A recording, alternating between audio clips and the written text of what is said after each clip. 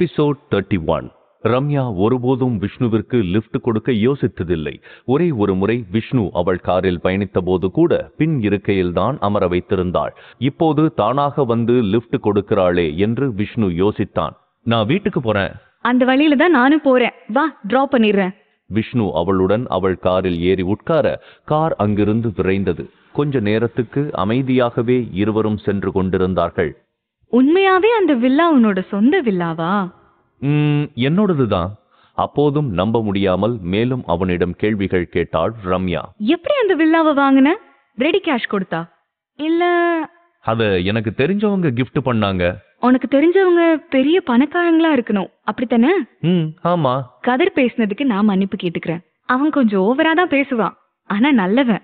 ஓ okay ஆனால் ஏற்கனவே கதிர் பற்றி தகவல்களை வாதியாரிடம் சேர்க்க கூறியிருந்தான் விஷ்ணு.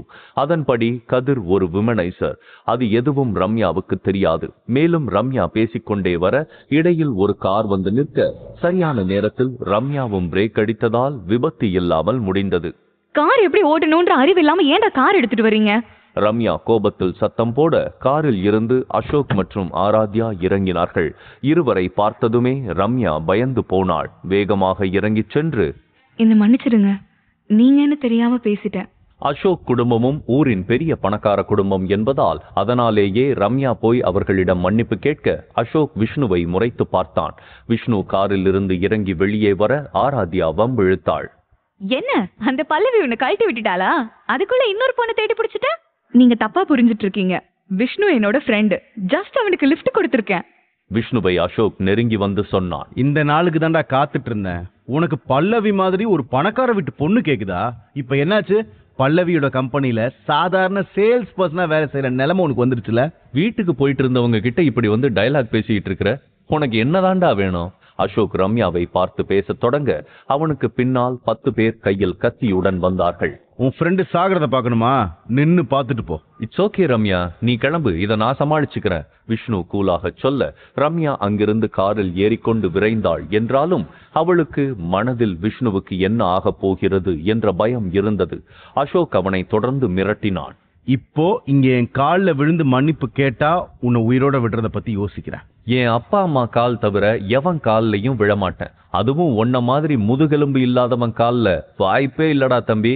அப்ப நல்லா அவர் முகத்தை பாத்துக்கோ நீ சாகிறதுக்கு முன்னாடி கடைசியா பார்க்க போற முகம் இதுதான். இவ்வளோ பணம் இருந்தும் என்ன பிரயோஜனம்? இவனுக்கு அறிவு கொஞ்சம் கூட இல்லையே. ஓம் பேச்ச கேட்டு லூசு மாதிரி வந்து என்கிட்ட கத்திக்கிட்டு இருக்கிறான். டேய் அசோக்கு உனக்கு நான் மறுபடியும் சொல்றேன். இவளுக்காக என்கிட்ட மல்லுக்கு நின்னா என் கையால அடிபட்டே சாவ. சொன்னா கேளு ஒழுங்கா ஓடி போயிடு.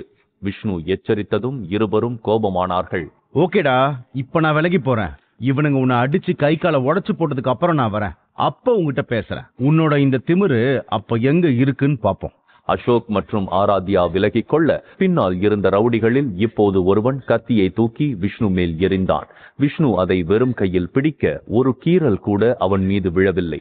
அனைவரும் அதிர்ந்து போனார்கள். ஆமா இவனுங்கெல்லாம் யாரோட ஆளுங்கடா? மாணிக்கத்தோட ஆளுங்க. ஐயோடே உங்களை எத்தனை தடவை தான் அடிக்கிறது? யாராவது உங்க தலைவனுக்கு கால் பண்ணுங்க. கால் செஞ்சு இங்க விஷ்ணுன்னு ஒருத்தன் இருக்கான். அவனை கொல்ல வந்திருக்கிறோன்னு சொல்லுங்க. அவன் பேச்ச கேட்காதீங்க. அவனை அடிச்சு கொல்லுங்க. அடியாட்கள் விஷ்ணுவை நெருங்க விஷ்ணு அடுத்தடுத்து வந்தவர்களை ஒரு ஒரு அடியில் தரையில் சாய்த்தான். அசோக்கும் ஆராத்யாவும் அதை பார்த்து பதட்டமடைந்தார்கள். இவன் எப்படி எல்லாரையும் அடிச்சு போட்டான்? அசோக் வேகமாக போனை எடுத்து ராயப்பனுக்கு கால் செய்தான். உங்க ஆளுங்க ஒருத்தன் விடாம எல்லாரையும் அவன் அடிச்சிட்டா இது உங்க கேங்குக்கு நடந்த அவமானம். இருக்கிற எல்லா ஆட்களையும் கூட்டிட்டு வாங்க. ஏன் ஆட்களையே ஒருத்த அடிச்சுட்டாடா?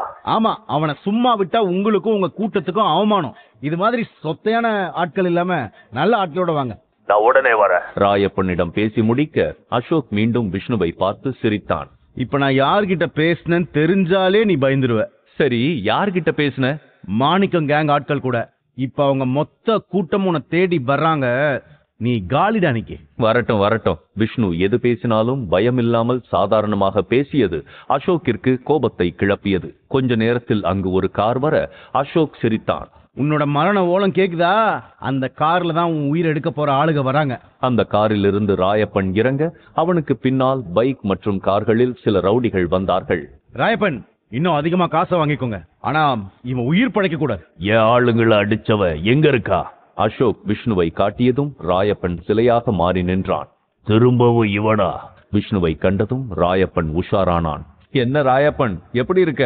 இல்ல வேணும்னே அஹ், தெரிஞ்சே இங்க உன்னை கொல்ல வரல.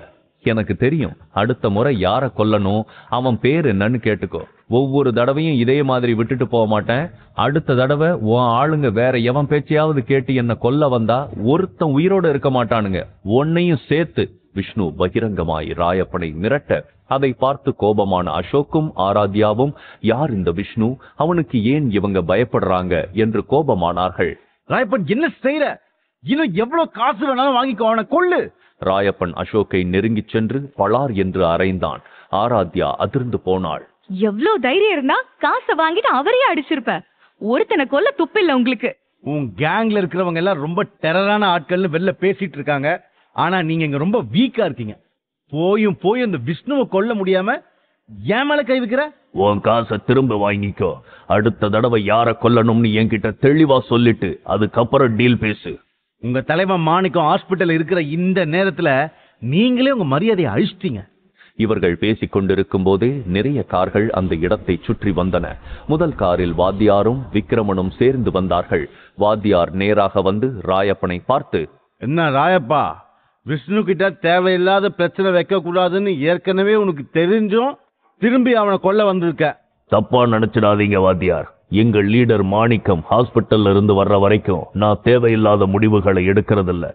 இதை நான் தப்பா புரிஞ்சு தெரியாம ஆட்கள் அனுப்பிட்டேன். அசோக் பக்கம் திரும்பிய வாத்தியார் அவனை பளார் என்று அறைந்தார். உனக்கு ஒரு தடவை சொன்னா புரியாதா? ம்? விலைக்கு போறவனை புடிச்சு நோண்டி நிற்பியா? அசோக் தலை குனிந்து நின்றான். அவனுக்கு பின்னால் ஆராத்யா ஒளிந்து கொண்டு இருந்தாள். விக்ரமன் விஷ்ணுவிடம் சென்று உனக்கு ஒன்றும் ஆகலையே விஷ்ணு. எனக்கு எதுவும் ஆகல சார் அப்புறம் எதுக்கு நீங்க இப்படி இந்த நேரத்துல வந்திருக்கீங்க? இத நானே சமாளிச்சிருப்பேன். இது மாதிரி சும்மா வித போய் தான் இவன் உன்னை நோந்திட்டே இருக்கான் விஷ்ணு. இவனுங்களுக்கு புரியுற மாதிரி ஒரு கடைசி வார்னிங் குத்தா போதும். அதுக்கப்புறம் இவனுங்க உன்னை பார்க்க கூட யோசிப்பாங்க. கொஞ்ச நேரத்தில் உதயகுமார் மற்றும் பல்லவி அந்த இடத்திற்கு விரைந்து வந்தார்கள். பல்லவி கீழே கிடந்த ரவுடிகளை பதட்டத்துடனே பார்த்து கொண்டு கடைசியில் விஷ்ணுவை பார்த்து ஓடிச் சென்று அவனை கட்டிப்பிடித்தாள். விஷ்ணு ஒரு கணம் திகைத்தான். பின் அவள் பிடியிலிருந்து தன்னை மெதுவாக விடுவித்துக் கொண்டான்.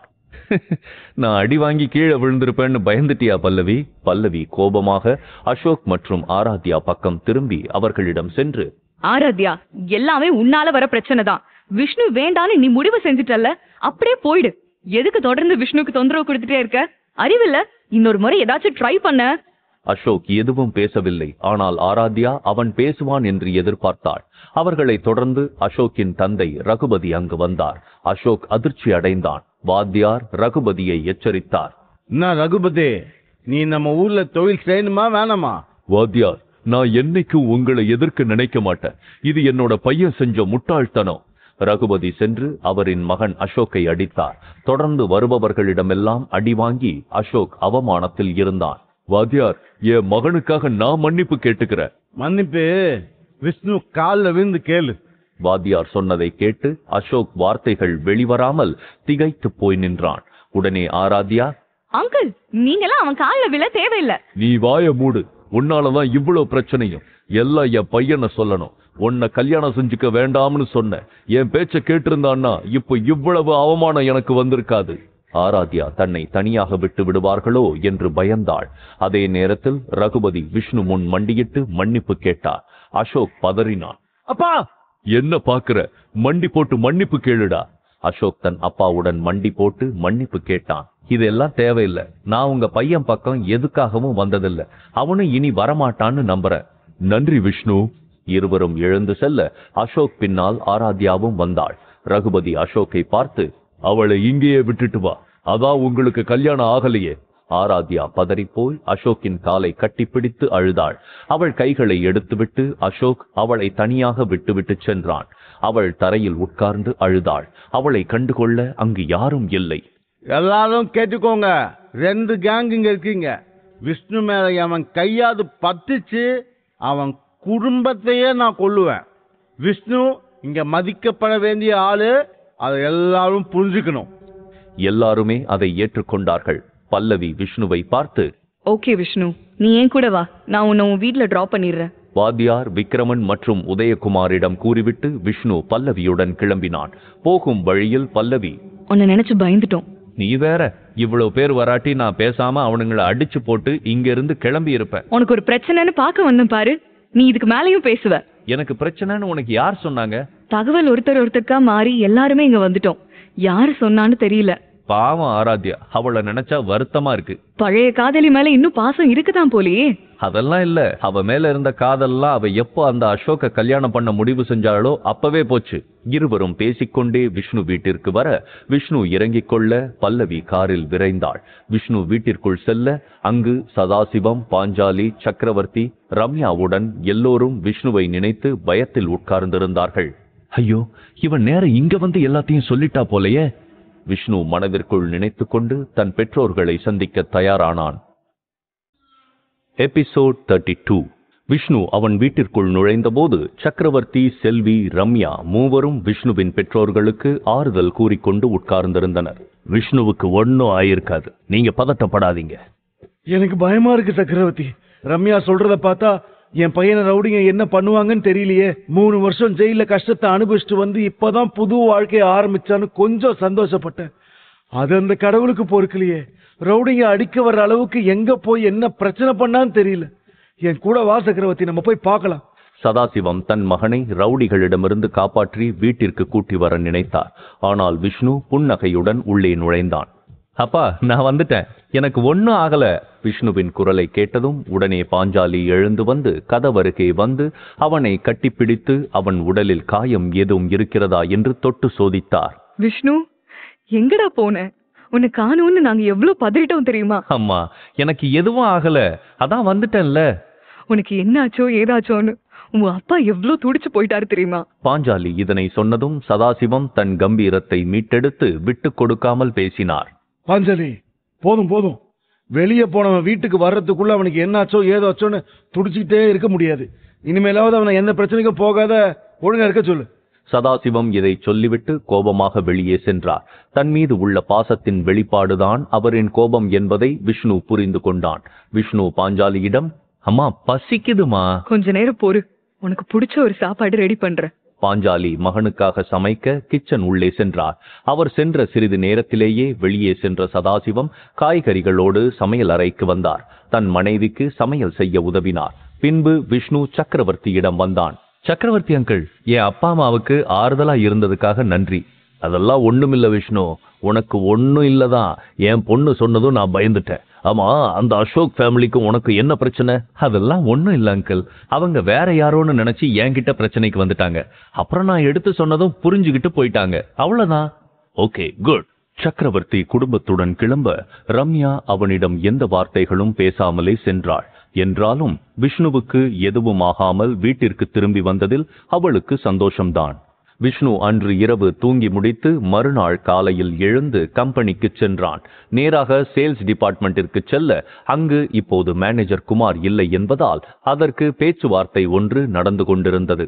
கதிர் தீவிர யோசனையில் இருக்க ரம்யாவும் பிரபுவும் உடனிருந்தார்கள். கடைசியா அன்னைக்கு வந்த மேனேஜர் குமார் எங்க போனாரு என்ன ஆனாருன்னு ஒன்னும் புரியல. ஆனா வேலையை விட்டு போயிட்டாருன்றது மட்டும் உறுதி. அப்போ அடுத்த மேனேஜர் பொறுப்பு யாருக்கா இருக்கும்? கதிர்தான் அடுத்த மேனேஜர் தனக்கு மேல் இங்கு யாருக்கு அனுபவம் இருக்கு என்ற மிதப்பில் இருந்தாலும் அது தானாக சொல்லாமல் மற்றவர்கள் கூற வேண்டும் என்று காத்திருக்க பிரபு அதையே கூறினான். அப்போ இனி நீ கதிர் சார் நீங்க தான் அடுத்த மேனேஜர் ஆமா கதிர் யூ டிசர்வ் இட் உனக்காதான் இருக்கும். அது தெரிஞ்சது தானே எனக்கு மேல யாருக்கு இங்க அனுபவம் இருக்கு? அந்த சமயம் உள்ளே வந்த விஷ்ணு அவர்கள் சந்தோஷத்தில் கல்லெறிவது போல பேசினான். பகல் கனவு காணாதீங்கடா.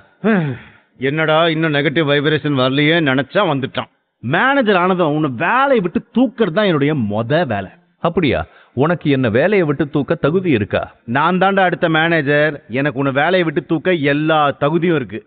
விஷ்ணு எப்பவும் இது மாதிரி செஞ்சிட்டு இருக்காத. உன் தகுதி என்னன்னு புரிஞ்சு நடந்துக்கோ. என் தகுதி என்னன்னு சொல்றதுக்கு முன்னாடி அவன் அவன் தகுதியை உணர்ந்து பாருங்கடா. அங்கு சந்தியாவும் இருந்தாள். சந்தியா விஷ்ணு மேல் கோபத்தில் இருந்தாலும் இந்த இடத்தில் விஷ்ணுவை காப்பாற்ற நினைத்தாள். விஷ்ணு தான் வாசுதேவன் கம்பெனி டீல் முடிச்சான். அப்படி இருக்கும்போது அவனை உங்களால எப்படி வேலையை விட்டு எடுக்க முடியும்? சந்தியா குறுக்கே பேச கதிர் இன்னும் கடுப்பானான் அப்படியா? மேபி வாசுதேவன் கம்பெனி நம்ம கூட டீல் வைக்க தயாரா இருந்த நேரத்துல இவன் போனதால தான் அந்த டீல் முடிஞ்சிருக்கலாம். அதுக்காக இப்ப என்ன முடிவெடுக்க போறீங்க? இதுதான் என்னோட கடைசி முடிவு. நான் விஷ்ணுவை வேலையை விட்டு தூக்குறேன் இனி அவன் இந்த கம்பெனி உள்ள வர முடியாது. எல்லோரும் அதை ஏற்றுக்கொண்டார்கள். ஏனென்றால் கதிர் தான் அடுத்த மேனேஜிங் டைரக்டராக போகிறான் என்று நம்பினார்கள். அவனின் உதவி வேண்டுமென்றால் அவனுக்கு ஜால்ரா அடிக்க வேண்டும். விஷ்ணு அங்கிருந்து கிளம்ப தயாரானான். ஓகே கிளம்புறேன் இப்பவே கிளம்புறேன் ஆனா நீ சொன்னதால மட்டும் நினைச்சிராதரா விஷ்ணு அவனுடைய பொருட்களை எடுத்துக்கொண்டு வெளியே செல்ல அவனிடம் ஓடி வந்த சந்தியா விஷ்ணு நீங்க வேலை பார்க்கலன்னா என்னாலே இங்க இவனுங்களுக்கு மத்தியில இருக்க முடியாது. நானும் உன் கூட வந்துடுறேன். ஹே நான் வேலையை விட்டு போறேன்னு யார் சொன்னாங்க? நீ இரு எல்லாம் மாறப் போகுது. நான் இங்கிருந்து போக போறேன். ஆனா இந்த கம்பெனியை விட்டு போகல. விஷ்ணு புதிர் போட சந்தியா குழம்பினாள். கேபின் உள்ளே கதிர் பெருமையாக பேசிக் கொண்டிருக்க ஒரு ஆள் வந்து மீட்டிங் ஹாலிற்கு அனைவரையும் வரச் சொல்லி கூற அங்கிருந்த அனைவரும் பதட்டத்துடன் மீட்டிங் ஹால் உள்ளே செல்ல அங்கு விஷ்ணு மேனேஜர் நாற்காலியில் உட்கார்ந்திருந்தான். அதை பார்த்து கதிர் கோபமாக டேய் உன் மனசுல என்ன நினைச்சிட்டு இதெல்லாம் செஞ்சிட்டு இருக்க உன்னை வேலையை விட்டு நான் தூக்கிட்டேன். அதை மறந்துட்டியா நீ?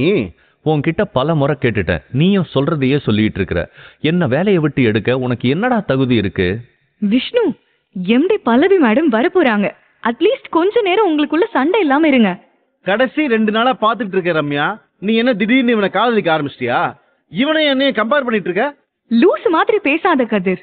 ரம்யா கதிரை எதிர்க்க சந்தியாவும் கதிரை எச்சரித்தாள். மறுபடியும் சொல்றேன் கதிர். நீங்க வேலையை விட்டு தூக்க நினைக்கிறது நம்ம கம்பெனிக்காக வாசுதேவன் கம்பெனி டீல் முடிச்ச ஒரு ஆளை. ஞாபகம் வச்சுக்கோங்க. இது பல்லவி மேடம்க்கு தெரிஞ்சா உங்க வேலை தான் போகும். அது கதிருக்கு அச்சத்தை கொடுத்தது என்றாலும் இப்போது அவனின் ஆணவம் ஓங்கி இருந்தது. விஷ்ணு தனக்கு கீழ்தான் என்ற அகங்காரத்தில் மேலும் பேசினான். ஏய் சும்மா இருங்க. இது எனக்கும் அவனுக்கும் உள்ள பிரச்சனை.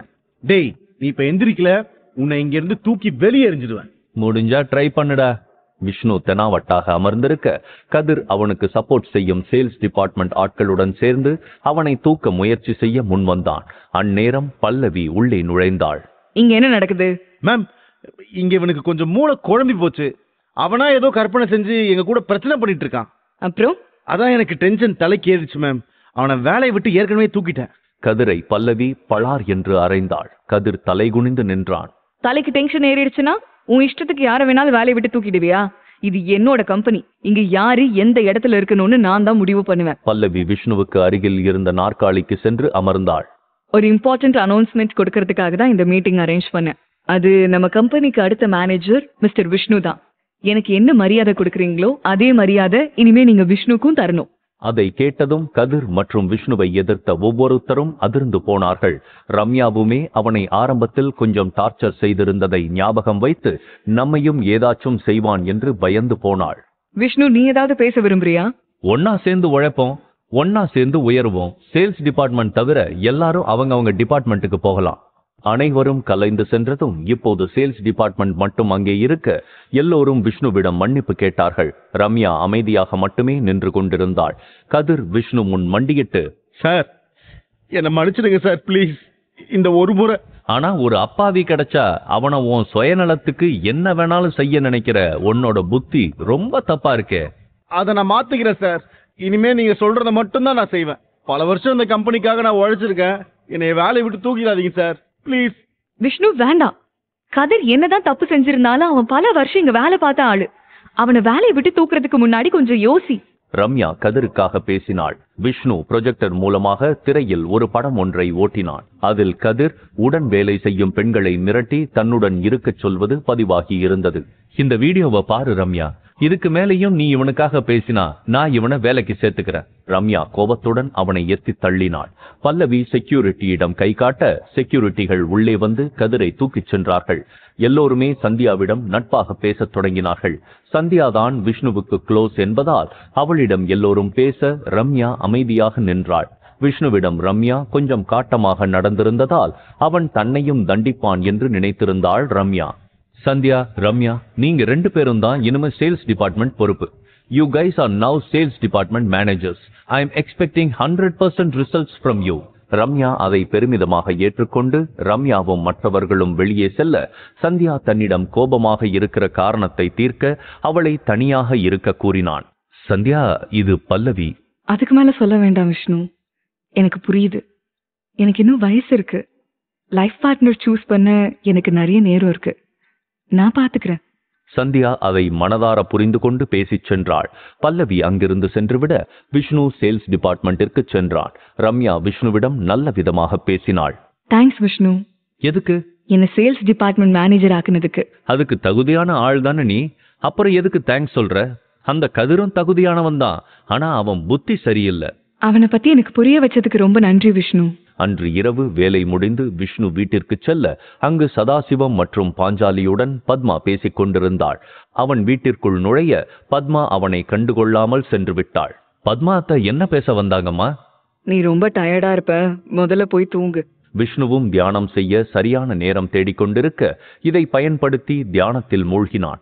அந்த வீடும் வெளியே சாலையின் வாகன சத்தங்களும் தொடர்ந்து அவனை தியானத்தில் மூழ்குவதை தடுத்தாலும் விஷ்ணு ஆழ்ந்த தியானத்தில் மூழ்கினான். மாயன் தாத்தாவுடன் பேச முடியுமா என்று தியானத்தில் முயற்சி செய்ய அது முடியாமலே போனது. மறுநாள் காலையில் எழுந்து விஷ்ணு வெளியே வர பாஞ்சாலி அவனுக்கு ஒரு டம்ளரில் டீ கொண்டு வந்து வைத்துவிட்டு பத்மாவும் சந்தியாவும் ஊரை விட்டு போயிட்டாங்க விஷ்ணு. இதை கேட்டதும் விஷ்ணு அதிர்ச்சி அடைந்தான். ஏன்? எதுக்காக? பாஞ்சாலி ஒரு லெட்டர் ஒன்றை அவன் கையில் கொடுத்து இந்த லெட்டரை சந்தியா உன்கிட்ட கொடுக்க சொன்னா. விஷ்ணு அந்த லெட்டரை படித்தான். விஷ்ணு மனசுல உன்னை நினைச்சுக்கிட்டே உன் பின்னாடி சுத்திக்கிட்டு இருக்க முடியாது. நீ எனக்கு எப்பவும் நல்லது தான் யோசிப்ப. நல்லது நடக்க ஆசைப்படுவேன்னு தெரியும். ஆனா மனசுல இருக்கிற காதலை மாத்த முடியல. நானும் அம்மாவும் தூரத்துல இருக்கிற சொந்தக்காரங்க வீட்டுக்கு போறோம். திரும்ப சந்திப்போமான்னு தெரியல. ஆனா எப்போதும் உன்னை விரும்பும் சந்தியா. விஷ்ணு அதை படித்து முடித்துவிட்டு அவளுக்காக வருத்தப்பட்டு உட்கார்ந்தான். சதாசிவம் அவனுக்கு அருகில் வந்து உட்கார்ந்தார். விடு விஷ்ணு நாங்க தான் உன் மனசுல என்ன இருக்குன்னு புரிஞ்சுக்காம கொஞ்சம் அவசரப்பட்டுட்டோம். நீயும் பல்லவியும் உண்மையிலேயே லவ் பண்றீங்களா? பா அதெல்லாம் இல்லப்பா. எதுவும் இல்லாமையா சந்தியா லெட்டர் எழுதி வச்சுட்டு போயிருக்கா? எனக்கு தெரியும்பா நீ அந்த பல்லவிய நம்ம வீட்டுக்கு சாப்பிட வர சொல்லு. விஷ்ணுவிற்கு கல்யாணம் நின்று போனது சந்தோஷம்தான் என்றாலும் அவனுக்கு இப்போது கல்யாணம் செய்து கொள்வதிலெல்லாம் ஆர்வம் இல்லை. இருந்தாலும் தன் பெற்றோர்களின் வற்புறுத்தலால் பல்லவியை போனில் அழைத்தான். அவளும் விஷ்ணுவின் பெற்றோர்களுக்கு கிஃப்ட் எல்லாம் வாங்கி கொண்டு வந்தாள். எல்லாரும் ஒன்றாக சாப்பிட அமர்ந்தார்கள். அங்கிள் ஆன்ட்டி உங்க ரெண்டு பேருக்கும் வயசாகுது. நீங்க இங்க இருக்கிறது நல்லதில்ல. வாங்க நம்ம விழாவுக்கு போயிடலாம். நீயும் விஷ்ணுவும் லவ் பண்றத புரிஞ்சுக்காம நாங்க தான் அவசரப்பட்டு வந்துட்டோமா? நாங்க நாளைக்கே திரும்பி வந்துருவோம். சதாசிவம் இப்படி சொன்னதும் பல்லவி விஷ்ணுவை பார்த்தாள். விஷ்ணு அவளின் கண்களை பார்க்க தைரியம் இல்லாமல் சாப்பிடுவது போல் பாசாங்கு செய்தான். மறுநாளே விஷ்ணு தன் அப்பா அம்மாவுடன் அங்கிருந்து வில்லாவுக்கு மாறினான். அந்த வில்லாதான் ஆழ்ந்த தியானத்துக்கு அவனை அழைத்துச் சென்ற இடம். அங்கே தியானத்தில் அமர்ந்தான். மீண்டும் அந்த இயற்கை சூழ்ந்த இடத்தை விஷ்ணு அடைந்தான். இந்த முறை மாயன் தாத்தா அங்கிருந்து பூவை பறித்துக் கொண்டிருந்தார். தாத்தா விஷ்ணு உன்னை தான் எதிர்பார்த்துக்கிட்டு இருந்தேன் எதுக்காக தாத்தா? என்கிட்ட ஏதாச்சும் சொல்லணுமா? ம், இனிமே நீ எதிர்பார்த்திருந்த எல்லாமே நடக்கப் போகுது. அதுல நல்லது கெட்டது எல்லாமே நடக்கும். எல்லாத்துக்கும் தயாராகிடு விஷ்ணு. அப்படி என்ன நல்லது கெட்டதுன்னு தெரிஞ்சுக்கலாமா? உன் கனவுல வந்த பெண்ண நீ கோடிய சீக்கிரமே சந்திக்க போற. நிஜமாவா? எப்ப தாத்தா? அவ யாரு? அவ பேர் என்னன்னு தெரியுமா? தினம் தினம் என் கனவுல வந்து டார்ச்சர் பண்றா. அவளை நான் எப்ப சந்திப்பேன்? வாழ்க்கைய நாம கணிக்கத்தான் முடியும். அந்த கணிப்பு தப்பாவும் போகலாம் சரியாவும் இருக்கலாம். எப்பவுமே எல்லாத்துக்கும் தயாரா இருக்கிறது தான் நல்லது. அந்த தியானத்திலிருந்து வெளியே வர விஷ்ணு மொபைலுக்கு ஒரு அழைப்பு வந்தது. விக்ரமன் அழைத்திருந்தார். விஷ்ணு நீ கேட்ட மூலிகைகள் பத்தின விவரம் கிடைச்சிருக்கு. உடனே கிளம்பி வா. அவர் அப்படி கூற விஷ்ணுவுக்கு மகிழ்ச்சியானது. தன் அம்மாவை உடனே சரி செய்ய வேண்டும் என்று நினைத்த அவன் அங்கிருந்து விரைந்தான். எபிசோட் தேர்ட்டி த்ரீ மூலிகைகள் கிடைத்துவிட்டது என்ற தகவல் விஷ்ணுவை அடைந்ததும் விஷ்ணு வேகமாய் புறப்பட்டு விக்ரமன் வீட்டிற்கு சென்றான். அம்மாவின் கண் பார்வையை குணமாக்க வேண்டும் என்று பல நாள் துடித்துக் கொண்டிருந்தவன் இப்போது அந்த மூலிகைகளை அடைய ஆவலாக இருந்தான். விக்ரமன் சார் அந்த மூலிகைகளை இப்ப வாங்கிக்கலாமா? விஷ்ணு அது என் கையில இல்ல. ஆனா இருக்குதானே? எங்க இருக்கு? தயா துறவிகள் மடம் பத்தி உனக்கு தெரியுமா விஷ்ணு? தெரியும் சார். நம்ம நகரத்துக்கு வெளியே இருக்கிற அந்த உயரமான மலை உச்சியில இருக்கிற அந்த துறவிகள் மடம் தானே? ஆமா. அதேதான் விஷ்ணு. அந்த துறவிகள் மடத்தை நிர்வாகம் செய்யற துறவி தயானந்தா கிட்ட தான் அந்த மூலிகைகள் இருக்கு. அவர்கிட்ட நாம நேரடியா போய் வாங்க முடியாதா? அதுல தான் பிரச்சனை இருக்கு விஷ்ணு. எவ்வளவு காசு வேணாலும் நாம ரெடி பண்ணி அவங்க கிட்ட தந்துடலாம் சார். இல்ல விஷ்ணு நமக்கு காசுல ஒரு பிரச்சனை இல்ல. அது உனக்கு நல்லாவே தெரியும். வேற என்னதான் சார் பிரச்சனை? தயானந்தனோட வளர்ப்பு மகள் அகிலா இப்ப உடம்புக்கு முடியாம இருக்கா? அவளுக்கு தேவைப்படும்னு அவர் அந்த மூலிகைகளை அவர் கூடவே வச்சுக்க விரும்புறார். அவர் மகளுக்கு என்ன மாதிரியான உடல்நல பிரச்சனை இருக்கு சார்? தெரியல விஷ்ணு. ஆனா அவ பிறந்ததுல இருந்தே அவளுக்கு உடம்புல சில பிரச்சனைகள் இருக்குன்னு சொன்னாங்க. விக்ரமனும் விஷ்ணுவும் பேசிக்கொண்டே இருக்க அதே நேரத்தில் அங்கு வாத்தியார் உதயகுமார் மற்றும் பல்லவி வந்தார்கள். அவர்களிடம் இதுவரை விஷ்ணு விக்ரம் பேசிக் கொண்டிருந்ததை விளக்கிக் கூற அப்போ அந்த மூலிகைகள் நமக்கு கிடைக்காதா? எதுவும் உறுதியா சொல்ல முடியாது. பல்லவிக்கு தன் அப்பாவின் உடல்நிலைக்காகவும் விஷ்ணுவின் அம்மா பார்வைக்காகவும் அந்த மூலிகைகள் கிடைக்க வேண்டும் என்ற ஆவல் இருந்தது. ஆனால் அதில் இதுபோல் ஒரு பிரச்சனை என்று தெரிய என்ன செய்யலாம் என்று தொடர்ந்து பேசினார்கள். உதயகுமார் சார் மன்னிச்சிடுங்க. அந்த மூலிகை கிடைச்சதுன்னா உங்களுக்கு உதவி இருக்க முடியும். அதுக்காக என்ன செய்ய முடியும் விஷ்ணு? எது நடக்கணுமோ அதுதான் நடக்கும். நம்ம எதிர்பார்க்கறது எல்லாமே நடந்துடாது தானே? வேற ஏதாச்சும் வழி இருக்கும். நாம நேரா அந்த துறவிகள் மடத்துக்கு போய் அவங்க கிட்ட பேசி பார்க்கலாமே. ஏன்னா நமக்கு அதுல நியாயமான ஒரு தேவை இருக்குதானே இவ்வளோ நாளா நாம எதிர்பார்த்துக்கிட்டு இருந்த அந்த மூலிகைகள் கைக்கு கிடைக்கிறப்ப இப்படி ஒரு தடங்களா? வேற வழி இருக்கும். யோசி விஷ்ணு. விஷ்ணு யோசித்துக் கொண்டிருக்க திடீரென ஒரு ஐடியா தோன்ற தயானந்தன் மகளுக்கு உடல்நல சரியில்லைன்னு தானே நீங்க சொன்னீங்க விக்ரமன் சார்? ஆமா. ஓகே. அவரோட பொண்ணை நான் குணப்படுத்துறேன். நான் அவங்களுக்கு உதவுறேன். அப்படி செஞ்சா அந்த மூலிகைகளை அதுக்கு பதிலா நாம வாங்கிக்கலாம் தானே? ஆமா விஷ்ணு. ஆனா உன்னால முடியுமா? அந்த கேள்விக்கு விஷ்ணு பதில் அளிப்பதற்கு முன் வாத்தியார் முந்திக் கொண்டார். விஷ்ணு திறமைகள் எல்லாம் தெரிஞ்சுதான் இந்த கேள்வியை கேட்குறீங்களா எனக்கு விஷ்ணு திறமைகள் எல்லாம் தெரியும். ஆனா துறவிகள் மடத்துல இருக்கிற ஒரு துறவியால கூட அந்த பொண்ணுக்கு உதவ முடியல. அதுவும் இல்லாம அவளுக்கு பிறந்ததுல இருந்தே இந்த பிரச்சனை இருக்கு. அதான் சொன்னேன். என்னால முடிஞ்ச அளவுக்கு நான் உதவி செய்வேன். அதுக்கும் மேல நான் செஞ்சு முடிப்பேன்னு எனக்கு நம்பிக்கை இருக்கு சார். விஷ்ணுவின் நம்பிக்கையான வார்த்தைகளை கேட்டு உடனே உதயகுமார் ஆர்வமானார். அப்புறம் என்ன? நாம எல்லாருமே கிளம்பலாம். எல்லாருமா? எனக்கு ஹாப்பி தான். எல்லோரும் அவரவர் கார்களில் ஏறிக்கொண்டு விரைந்தார்கள். நகரத்துக்கு வெளியே இருந்த அந்த உயரமான மலை அடிவாரத்தில் அனைவரும் ஒன்று சேர்ந்து நின்றார்கள். பல்லவி இந்த நகரத்திலேயே சின்ன வயதிலிருந்து வாழ்ந்திருந்தாலும் இதுவரை இந்த மலை அடிவாரம் பக்கம் கூட வந்ததில்லை. அந்த உயரமான அந்த மலையை பார்த்து பிரமித்து நின்று இருந்தாள் அடங்கப்பா எவ்ளோ உயரம்? இந்த ஊர்ல தான் நீ இருக்கியா? ஏன் கேக்குற? இவ்வளோ புதுசா பார்த்துக்கிட்டு இருக்கியே அதான் கேட்டேன். இத பார்க்காம இருக்கிறது ஒரு தப்பா? போடா. உதயகுமாரும் விஷ்ணுவுடன் சேர்ந்து கொண்டார். தப்புதான். இது நம்ம ஊரோட பிரபலமான ஒரு சுற்றுலா தலம் நேரம் ஆகிட்டு இருக்கு நம்ம இப்ப ஏற ஆரம்பிச்சாதான் இருட்டுறதுக்குள்ள போக முடியும். இந்த நேரத்துல தான் சுற்றுலா பயணிகள் கீழே இறங்கி வருவாங்க. விஷ்ணு விக்ரமன் வாத்தியார் குணா பல்லவி உதயகுமார் அந்த மலையில் ஏறத் தொடங்கினார்கள். பல்லவி சின்ன பிள்ளை போல ஒவ்வொரு இடத்திலிருந்த மரத்திலும் ஏறி தாவி குதித்து விளையாடிக் கொண்டிருந்தாள். பல்லவி ரொம்ப உன்னோட உடம்ப டயர்டாக்கிடாத அப்புறம் உன்னால உச்சத்தை அடைஞ்சு அந்த மடத்துக்கு வர முடியாம போயிடும். அப்பா நான் கொஞ்சம் என்ஜாய் பண்றேன். அவ்வளவுதான். ரொம்ப உடம்பு டயர்ட் ஆக்கிக்க மாட்டேன். நீங்க போங்க. மலையில் தொடர்ந்து ஏறிக்கொண்டே செல்ல ஒரு கட்டத்தில் பல்லவி சோர்ந்து போய் ஒரு பாறையில் அப்படியே உட்கார்ந்து விட்டாள். இதுக்கு தான் பெரியவங்க சொல்றத கேட்கணும்னு சொல்றது. உன் இஷ்டத்துக்கு ஆட்டம் போட்டா அப்படியே உட்கார வேண்டியதுதான். ரொம்ப டயர்ட் ஆயிடுச்சுப்பா. அப்படியே கீழே இறங்கி வீட்டுக்கு போயிடு. நாங்க மேல போயிட்டு வரோம். அதெல்லாம் முடியாது. அதே நேரத்தில் விஷ்ணு அவர்களை கடக்க நான் எதுக்கு வீட்டுக்கு போகணும்? விஷ்ணு என்ன தூக்கிட்டு போவான். இல்ல புரியல. என்னால நடக்கவே முடியல. கொஞ்ச தூரம் தூக்கிட்டு போ. ஏன் உன்னால முடியாதா? சும்மா இல்லாம பாக்குற இடத்துல எல்லாம் சின்ன புள்ள மாதிரி விளையாடிக்கிட்டு இப்ப நடக்க முடியலன்னு நீ சொல்லுவ? அதுக்கு நான் தூக்கிட்டு போகணுமா? போ வேற எவனையாவது பாரு அதுக்கு. அது சரி விஷ்ணு. நீ ஆச்சு பல்லவியாச்சு உங்க சண்டைக்குள்ள நான் வரல என்ன ஆளை விடுங்க என்று சொல்லிவிட்டு உதயகுமார் நகர்ந்தார். பல்லவி இன்னமும் பிடிவாதமாக விஷ்ணுவிடம் வம்பிழுத்தாள். இப்ப என்ன தூக்கிட்டு போறியா இல்லையா? முறைக்காத தூக்கிட்டு போறேன். உன்கிட்ட நான் மாட்டிக்கிட்டு படாத பாடுபடுறேன். விஷ்ணு அவளை தூக்கினான். லேசாக பல்லவிக்கு கூச்சமாக இருந்ததால் அவன் முகத்தை பார்ப்பதை தவிர்த்தாள். எப்பவும் போல அவனிடம் பேசி அவனை கிண்டல் செய்யவும் கூட முடியவில்லை. என்ன பேசாம வந்துகிட்டு இருக்க? உன் வாய் சும்மா இருக்காதே. அப்படியே தூங்க நினைச்சிடாத. கொஞ்ச நேரம்தான். அதுக்கப்புறம் நீயே நடக்கணும். யாழி டாலர் ஜொலித்தது. அவன் மூலமாக பல்லவியின் சோர்வு முழுவதும் அவள் உடம்பிலிருந்து நீங்கியது. ஓகே விஷ்ணு. இறக்கி விடு. போதும். நானே நடந்து வரேன். அவளை கீழே இறக்கிவிட்டான் அவள் புத்துணர்ச்சி பெற்றது போல் நடந்து வந்தாள். ஏ என்ன? அதுக்குள்ள சோர்வு போயிடுச்சா? பொய் சொல்லி வேணும்னே என்ன இதை செய்ய வச்சிருக்கிற? போடா.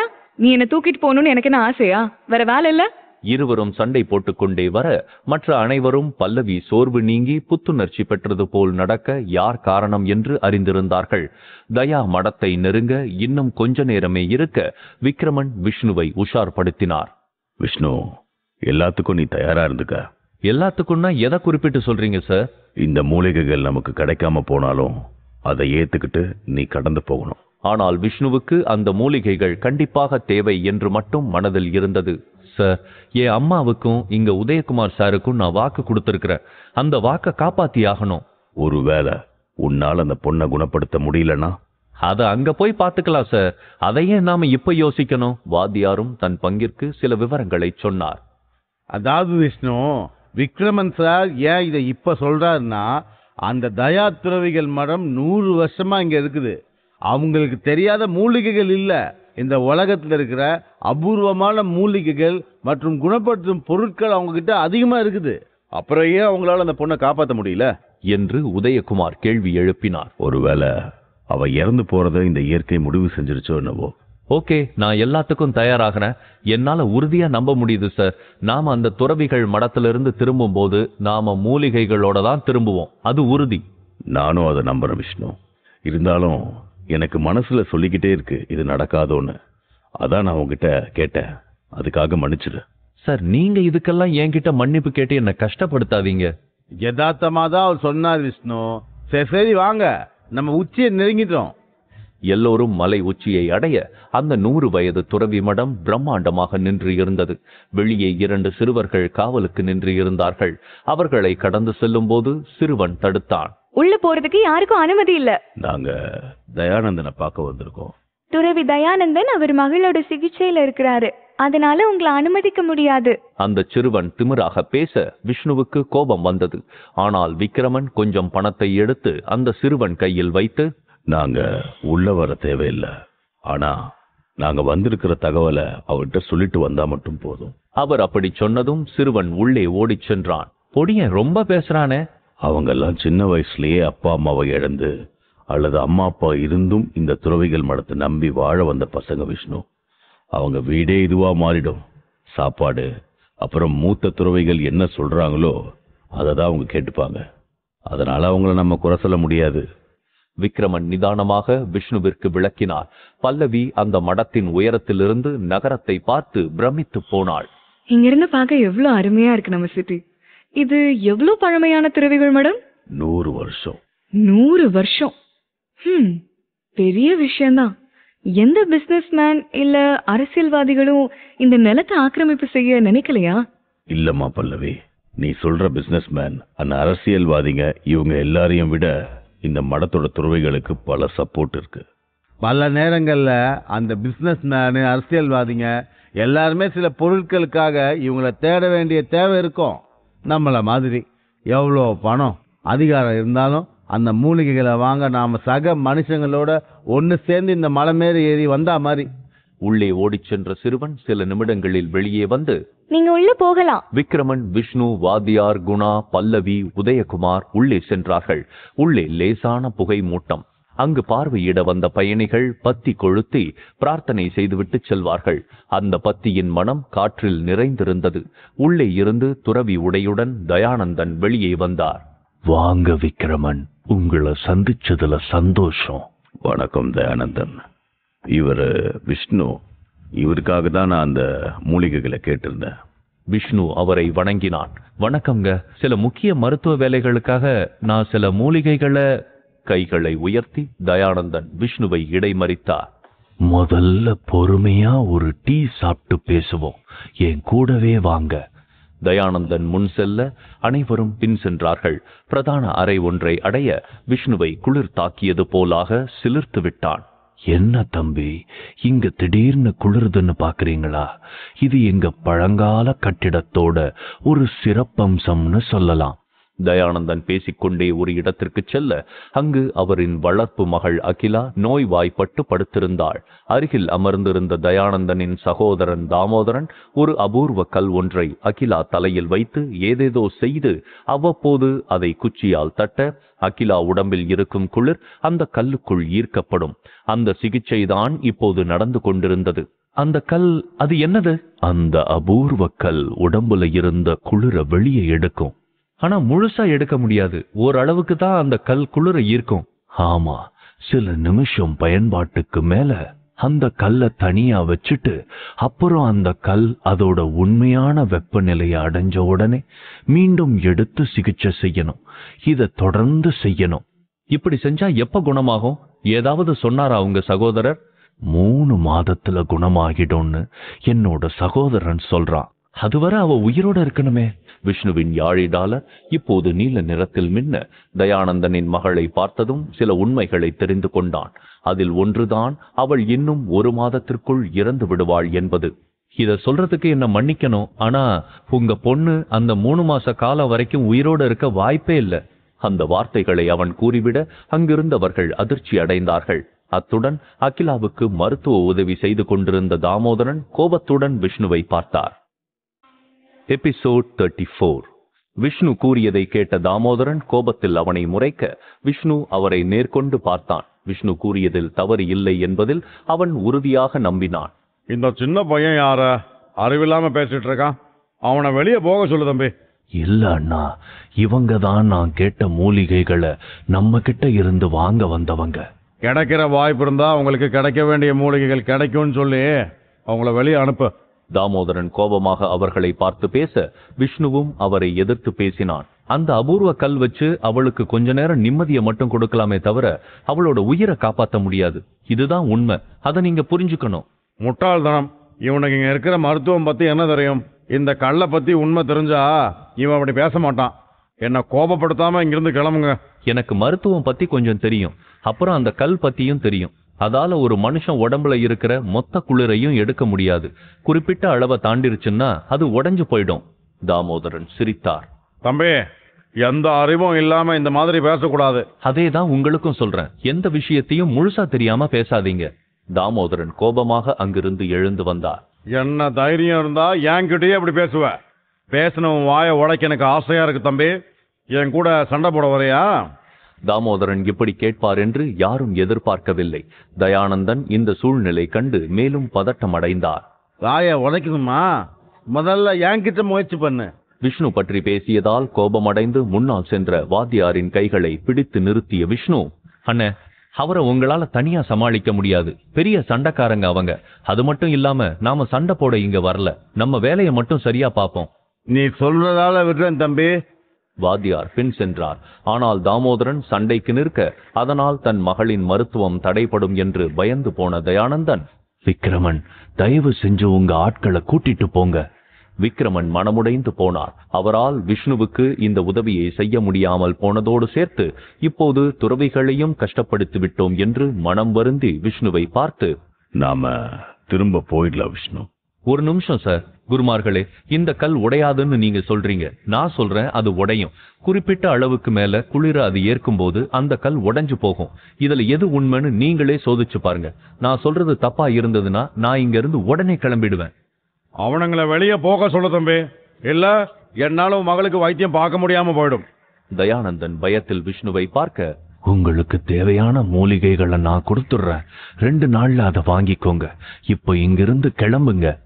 மூலிகைகள் கிடைக்கப் போகிறது என்றவுடன் அனைவருக்கும் சந்தோஷம்தான் என்றாலும் விஷ்ணு கண்முன்னே ஒரு பெண்ணின் உயிர் துடித்துக் கொண்டிருக்க அவளை அப்படியே விட்டு போக விஷ்ணுவுக்கு மனமில்லை. என்னை எல்லாரும் மன்னிக்கணும். உங்க மேல உள்ள மரியாதையோட அடுத்த சில வார்த்தைகள் நான் பேசுறேன். நான் சொல்றது உண்மையா இருந்ததுன்னா என் மருத்துவத்தால உங்க மகளை குணப்படுத்த முடியும். எனக்கு தேவையானது கிடைச்சதுன்னு இங்க இருந்து என்னால போக முடியல. காரணம் உங்க பொண்ணு உயிர் இப்ப ஆபத்துல இருக்கு. நீ சொல்றதையே செய்வோம். அந்த கல் உடையலனா அப்புறம் இருக்கு உனக்கு. தாமோதரன் மீண்டும் உட்கார்ந்து தொடர்ந்து அந்த கல் மூலம் அவரது சிகிச்சையை தொடர்ந்தார். சில நிமிடங்கள் தொடர்ந்து அந்த சிகிச்சை தொடர ஒரு கட்டத்தில் அந்த கல்லில் கீறல் விழுந்தது. தயானந்தன் ஆச்சரியத்துடன் அந்த கல்லை நெருங்கி பார்க்க விஷ்ணு சொன்னது உண்மைதான் கல் உடைஞ்சு போச்சு. பல்லவி கைத்தட்டி சந்தோஷத்தில் குதிக்கத் தொடங்கினாள். நீ சூப்பர்டா விஷ்ணு. எந்த இடத்துலயும் நீ சொல்றத செஞ்சு முடிச்சிடுற. தாமோதரன் பல்லவியை முறைத்து பார்த்ததை அவள் உணர்ந்தபோது அவள் அமைதியாக விஷ்ணு முதுகிற்கு பின்னால் ஒளிந்து கொண்டாள். நீ சொன்னது நடந்துருச்சு. என் தம்பி மகளை குணப்படுத்திடுவேன்னு உன்னை நம்புறோம். ஆனா நீ என்ன செய்ய போறோன்னு எங்களுக்கு தெரியணும். அதை நீங்க பார்க்க முடியாது சார். ஏன் உங்க மகளுக்கு தனிப்பட்ட முறையில சிகிச்சை கொடுக்கணும். அவளுடன் ஒரு இளைஞனை எப்படி தனியாக விடுவது என்ற தயக்கம் அனைவருக்கும் இருந்தது. உன்னை யாருன்னா எங்களுக்கு தெரியாது. உன்னை நம்பி எங்க பிள்ளைய எப்படி தனியா விடுறது? நீ அவகிட்ட அத்துமீற மாட்டேன்னு என்ன நிச்சயம்? என்ன பேசுறீங்க நீங்க? விஷ்ணு அப்படிப்பட்ட பையன் இல்ல. அதுல எங்களுக்கு நம்பிக்கை இல்லை.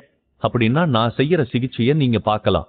விஷ்ணு சிகிச்சைக்கு தயாராக தாமோதரனும் தயானந்தனும் வெளியே வந்தார்கள். அங்குதான் அவர்களுக்கு ஒரு ஆச்சரியம் காத்திருந்தது.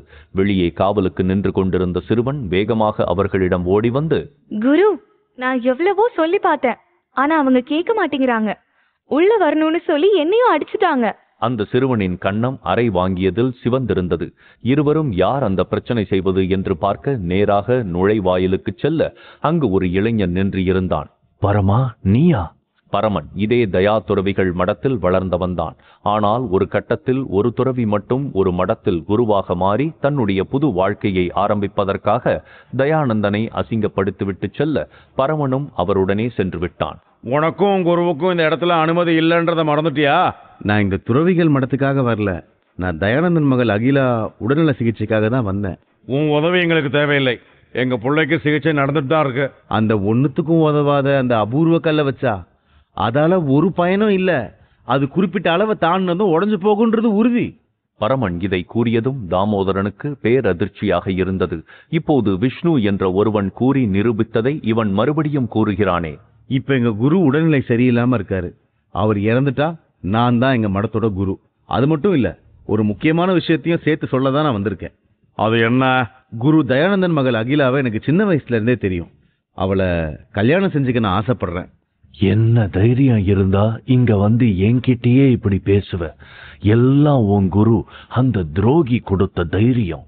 பரமனின் குரு கருடன் ஏழு நட்சத்திர வாழ் என்ற சக்தி வாய்ந்த ஆயுதத்தை திருடிக் கொண்டு போய் வேறு ஒரு மடத்தில் சேர்ந்து அங்கு குரு ஆகிவிட்டான்.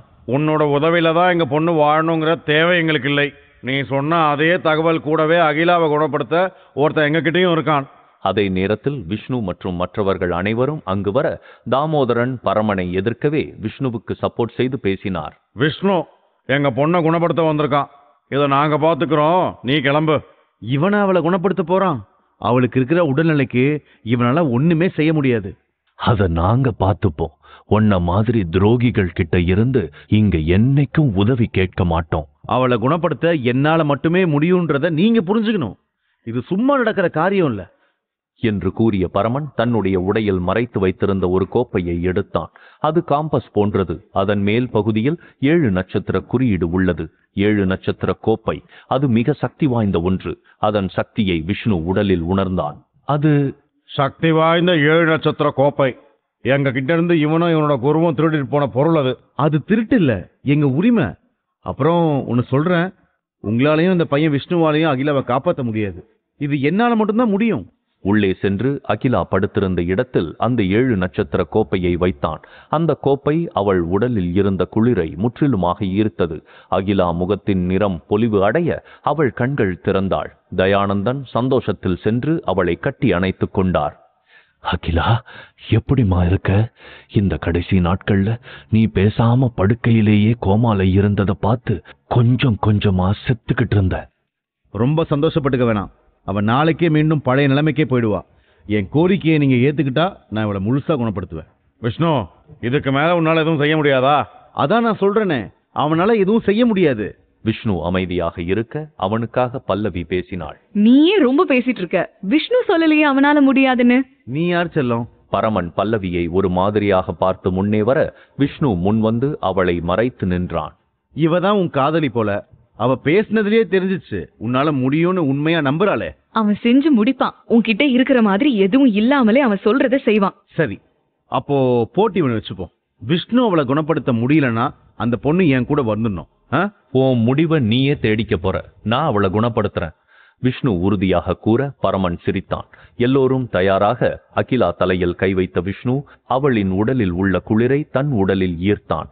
அகிலா உடலில் அதிக குளிர் வெளியேற முதலில் விஷ்ணுவின் கை குளிர்ந்து உறைந்து போனது. எல்லோரும் அதை கண்டு நடுங்கினார்கள். மொத்த உடம்ப உறைஞ்சு போய் சாக போறான். கொஞ்சம் கொஞ்சமாக அவன் உடல் முழுக்க உறையத் தொடங்கியது. விக்ரமன் பதறினார். விஷ்ணு வேண்டாம். ரிஸ்க் எடுக்காத விட்டுரு. பல்லவி விஷ்ணுவை நோக்கி ஓட உதயகுமார் அவளை பிடித்து வைத்துக் கொண்டார். விஷ்ணு! விஷ்ணு உடல் மொத்தமாக உறைந்து போக அவன் சிலையாக நின்றான். அனைவரும் அதிர்ச்சியில் அதை பார்க்க பரமன் சிரித்துக் கொண்டிருந்தான். அகிலா முழுசா குணமாயிட்டா? அதுக்கு உயிரை கொடுத்து உதவின இந்த பையனுக்கு நன்றிகள். அதோட சேர்த்து அவனோட காதலியையும் எனக்கு பரிசா கொடுத்துட்டு போயிருக்கான். அகிலா தன் அப்பாவை இறுக்கமாக கட்டிக்கொண்டாள் ஆனா அவ உயிரோட இருக்க காரணமானவன் நான். நானே அவளை கல்யாணம் செஞ்சுக்க போறேன். அவளை காப்பாத்துனது விஷ்ணு. அவன் தான் செத்துட்டானே. பரமன் அகிலா கைகளை பிடித்திழுக்க அப்பா. விஷ்ணுவின் உறைந்து போன உடலை சிலையாக நின்று பார்த்து கொண்டிருந்த வாத்தியார் அங்கிருந்த துறவிகள் பலமான சண்டைக்காரர்கள் என்று எதுவும் யோசிக்காமல் பரமனை பலமாக தாக்கினார். பரமன் எதிர்பாராத அடியை வாங்கிக் கொள்ள திரும்பி அடித்து அனைவரையும் தரையில் சாய்த்தான். பின் மீண்டும் தயானந்தனை பார்த்தான். அகிலா இல்லாம இங்க இருந்து போக மாட்டேன். என் உயிரே போனாலும் எங்க பொண்ணு மேல உன் கைய பட விட மாட்டேன். அப்படியா? அப்ப உங்க உயிர் எடுத்துடுறேன். பரமன் தயானந்தனுடனும் தாமோதரனுடனும் சண்டை போட்டுக் கொண்டிருக்க விக்ரமன் வருத்தத்துடன் சொன்னார். உதயகுமார் விஷ்ணு இனி இல்ல. நாம இங்கிருந்து தப்பிக்கலாம். இல்ல. விஷ்ணுவுக்கு ஒண்ணும் ஆகியிருக்காது. நான் விஷ்ணுவை தனியா விட்டுட்டு வரமாட்டேன். புரிஞ்சுக்காம பேசாத பல்லவி. நிலைமை ஏற்கனவே மோசமாயிருச்சு. முதல்ல கிளம்பு. அடுத்தடுத்த அடிமுறைகளில் இருவரையும் வீழ்த்திய பரமன் வேகமாக நுழைவு வாயிலை பூட்டினான். இங்கிருந்து யாரும் வெளியே உயிரோட போக போறது இல்ல அப்புறம் பல்லவி செல்லம் உன்னை நான் தனியா கவனிக்கிறேன். ஓகேவா? அனைவரும் அஞ்சி நடுங்க வாத்தியார் உயிருக்கு பயப்படாமல் எழுந்து நின்றார். பரமனை எதிர்த்து சண்டை போட நிற்க வாத்தியாரை ஒரே அடியில் தூக்கி வீசினான். அதே நேரம் பனிக்கட்டி கீறல் விழும் சத்தம் கேட்க எல்லோரும் திரும்பி பார்த்தார்கள். விஷ்ணு உடலில் உறைந்த பனியில் கீறல் விழத் தொடங்கியது. அந்த சத்தம் கொஞ்சம் கொஞ்சமாக அதிகரிக்க அவன் மேல் படர்ந்த பனி முழுவதுமாக உடைந்து விஷ்ணு உயிருடன் நின்றான். பரமன் அதிர்ச்சியில் அதையே பார்க்க எனக்கு தெரியும். என்னை விட்டு போக மாட்டேன்னு. அவள் வேகமாக ஓடிச் சென்று சுற்றி நின்ற எவரையும் கவனிக்காமல் விஷ்ணுவை இறுக்கமாக கட்டிக்கொண்டாள் நீ உயிரோட வருவேன்னு தெரியும் விஷ்ணு. இப்படியே பிடிச்சுக்கிட்டு இருந்தா செத்து போயிடுவேன். கொஞ்சம் ஃப்ரீயா விடு. அவள் பிரிந்து கொள்ள விஷ்ணு நிதானமாக நின்றான். யாருடா நீ? இவ்ளோ குளிர்ல உறைஞ்சும் உயிரோட இருக்க? உன் அப்பனுக்கு அப்பன்டா விஷ்ணு வந்ததில் அனைவரும் திருப்தி அடைந்து நிம்மதியானார்கள். பரமன் நிலைமையை சுதாரித்துக் கொண்டு அவர்களை இங்கிருந்து அனுப்ப முயன்றான். சரி நீ கிளம்பலாம். உன் ஆளுங்களை கூட்டிட்டு அப்படியே கிளம்பிடு. அந்த ஏழு நட்சத்திர கோப்பையை என்கிட்ட கொடுத்துரு. உன்னை உயிரோட விட்டுட்டு போறத பத்தி நான் யோசிக்கிறேன். என் கோப்பை உனக்கு வேணுமா? நீ கேட்ட உடனே அதை கொடுத்துருவேன்னு நினைச்சியா? என் வாத்தியார் அண்ணனை அடிச்சிருக்கிற பல்லவிய கிண்டல் பண்ணியிருக்கிற. நான் சாவேன்னு தெரிஞ்சும் வேடிக்கை பார்த்துட்டு நிலைமைய உனக்கு சாதகமாக்கி இருக்கிற உன்னை அப்படியே சும்மா விட்டுட்டு போயிடுவேன்னு நினைக்கிறியா? விஷ்ணுவும் பரமனும் நேருக்கு நேர் பார்த்தார்கள். பரமனுக்கு விஷ்ணுவை பார்ப்பது ஆச்சரியமாகவே இருந்தது. எப்படி இவன் இவ்வளோ குளிர உடல்ல வாங்கிட்டு உயிரோட இருக்கிறான் என்று. விஷ்ணு உனக்கு நான் கடமைப்பட்டிருக்க. என் மகள் உயிரை காப்பாத்தினதுக்கு. அதோட சேர்த்து இந்த பரமனோட கதையையும் முடிக்க நீ எனக்கு உதவணும். இவன் இனி உங்களை எதுவும் பண்ண முடியாது. அவனை அப்படியே விட்டுருங்க. உழைச்சு போறான். பையா நீ இந்த முறை தப்பிச்சிட்டேன்னு ஓவரா பேசக்கூடாது. ஆ? உன்னை உரைய வைக்க எனக்கு வேற வழி இருக்கு. பரமன் அவனுடைய ஏழு நட்சத்திர கோப்பையை எடுத்தான். அதில் ஏற்கனவே ஈர்க்கப்பட்ட குளிரை விஷ்ணு உடம்பில் செலுத்தி மீண்டும் அவனை உரைய வைக்க பரமன் எண்ணினான். டேய் இதுக்குத்தான் இந்த பேச்சு பேசினியா? சரி உன்னால முடிஞ்சதை ட்ரை பண்ணு. விஷ்ணு ஒரு நாற்காலியில் சாதாரணமாக உட்கார்ந்தான். பரமன் அந்த ஏழு நட்சத்திர கோப்பையில் இருந்த குளிரை வெளியேற்றினான். விஷ்ணுவின் தலைமுடி லேசாக உரையத் தொடங்கியது மற்றும் அவனைத் தவிர அனைவரின் உடலையும் குளிர் தாக்கியது. எபிசோட் தேர்ட்டி ஃபைவ் பரமன் அவனுடைய ஏழு நட்சத்திர கோப்பையிலிருந்து வெளியேற்றிய குளிர் அந்த இடத்தையே குளிராக்கியது என்றாலும் விஷ்ணு மேல் அது பனியாய் படர்ந்து உதிர்ந்தது. முழுவதுமாக அதிலிருந்த மொத்த குளிரும் வெளியேற விஷ்ணு மேல் அது எந்த தாக்கத்தையும் கொடுக்கவில்லை. மாறாக அது அவனை பலப்படுத்தியது. இன்னும் அதிக பலமான ஒருவனாக உணர்ந்தான் விஷ்ணு. புது மனுஷனா இப்ப நான் ஃபீல் பண்றேன். இதுவரை இல்லாத அதிக பலம் என் உடல்ல இருக்கிறத என்னால உணர முடியுது? பரமன் அப்படியே ஒன்றுமாகாமல் நின்று கொண்டிருந்த விஷ்ணுவை ஆச்சரியமாக பார்த்தான். உன்னோட அந்த அபூர்வ கோப்பைய வச்சு வேற எதுவும் வித்த காட்ட போறியா? இல்ல உன் தோல்விய ஒத்துக்கிட்டு வாய மூட போறியா? உன்கிட்ட ஏதோ ஒரு அபூர்வ பொருள் இருக்கு. அதனாலதான் உன்னால இந்த குளிர் தாக்குதல்ல இருந்து தப்பிக்க முடிஞ்சது. ஒண்ணு நீ நல்லா புரிஞ்சுக்கணும். நானே அபூர்வமானவன்டா. என்கிட்ட உன்னோட எந்த வித்தையும் எடுபடாது. இந்த முறை உன்னை முழுமையா முடக்கி போடுறேன். பரமன் அவன் ஏழு நட்சத்திர கோப்பையில் மேல் பகுதியில் இருந்த நட்சத்திரத்தின் மைய பகுதியில் இருந்த ஒரு பட்டனை அழுத்த அந்த கோப்பையிலிருந்து ஒரு கருப்பு மேகம் போன்ற உருவம் வெளியேறியது. அந்த கருப்பு மேகத்தோட உருவத்தை யாரும் பார்க்காதீங்க. அந்த கருப்பு மேகம் போன்ற உருவம் மனிதர்களின் ஆன்மாக்களை எடுத்துக் கொள்ளும் தன்மை கொண்டது. விஷ்ணு யாரும் அதை நேர்கொண்டு பார்க்கவில்லை என்பதை உறுதி செய்து கொண்டு அந்த கருமேகத்தை நேரடியாக பார்த்தான். ஏற்கனவே குளிர் காற்றினால் விஷ்ணு அதிக பலம் பெற்று இருக்க அந்த கருமேக உருவம் அவனை எதுவும் செய்ய முடியாமல் தவித்தது. பரமன் கை நகத்தை கடித்து அதிலிருந்த ரத்தத்தை கோப்பையில் செலுத்த கருமேகம் உருவம் பெரிதாகியது. ஆனால் விஷ்ணுவை அந்த உருவத்தால் எதுவும் செய்ய முடியாமல் ஓய்ந்து மீண்டும் அந்த கோப்பை உள்ளேயே ஓடி மறைந்தது. இந்த கோப்பைய என்கிட்ட இருந்து வாங்கிக்கலாம். ஆனா என்ன உயிரோட விட்டுறணும். முதல்ல அந்த கோப்பையை கொடு. பரமன் அந்த கோப்பையை தூக்கி விஷ்ணுவிடம் போட விஷ்ணு அதை பிடித்து வைத்துக் கொண்டான். அதெல்லாம் ஓகே. இங்க இருக்கிற என்னோட நண்பர்களை நீ கொல்ல தயாரா இருந்தல்ல. ஒருவேளை நான் இல்லன்னா இவங்களை கொன்னு இருப்பதானே அது மாதிரி நடக்காததுக்கு நாம சந்தோஷப்பட்டுப்போம். எனக்கு மனைவியாக போற பொண்ணு நீ தப்பா பேசி இருக்கிற அதற்கு பரமனிடம் பதில் ஏதும் இல்லை. பல்லவிக்கு விஷ்ணு அப்படி சொல்லியதும் சந்தோஷமாக உணர்ந்தாள். அது ஏதோ கோபத்துல நடந்துருச்சு. நீ துறவி தயானந்தனோட மகளை கல்யாணம் செஞ்சுக்க வந்த. ஆனா நீ பேசின விதமும் செஞ்ச செயல்களும் தப்பு. அதுக்கு உனக்கு தண்டனை கொடுத்தே ஆகணும். என்னோட மடத்துல என் குரு எனக்காக காத்துட்டு இருப்பாரு ஒருவேளை நான் திரும்ப போகலன்னா அவர் உங்களை தேடி வருவாரு. அவர்கிட்ட இருந்து ஒருத்தனும் தப்பிக்க முடியாது. ஞாபகம் வச்சுங்க.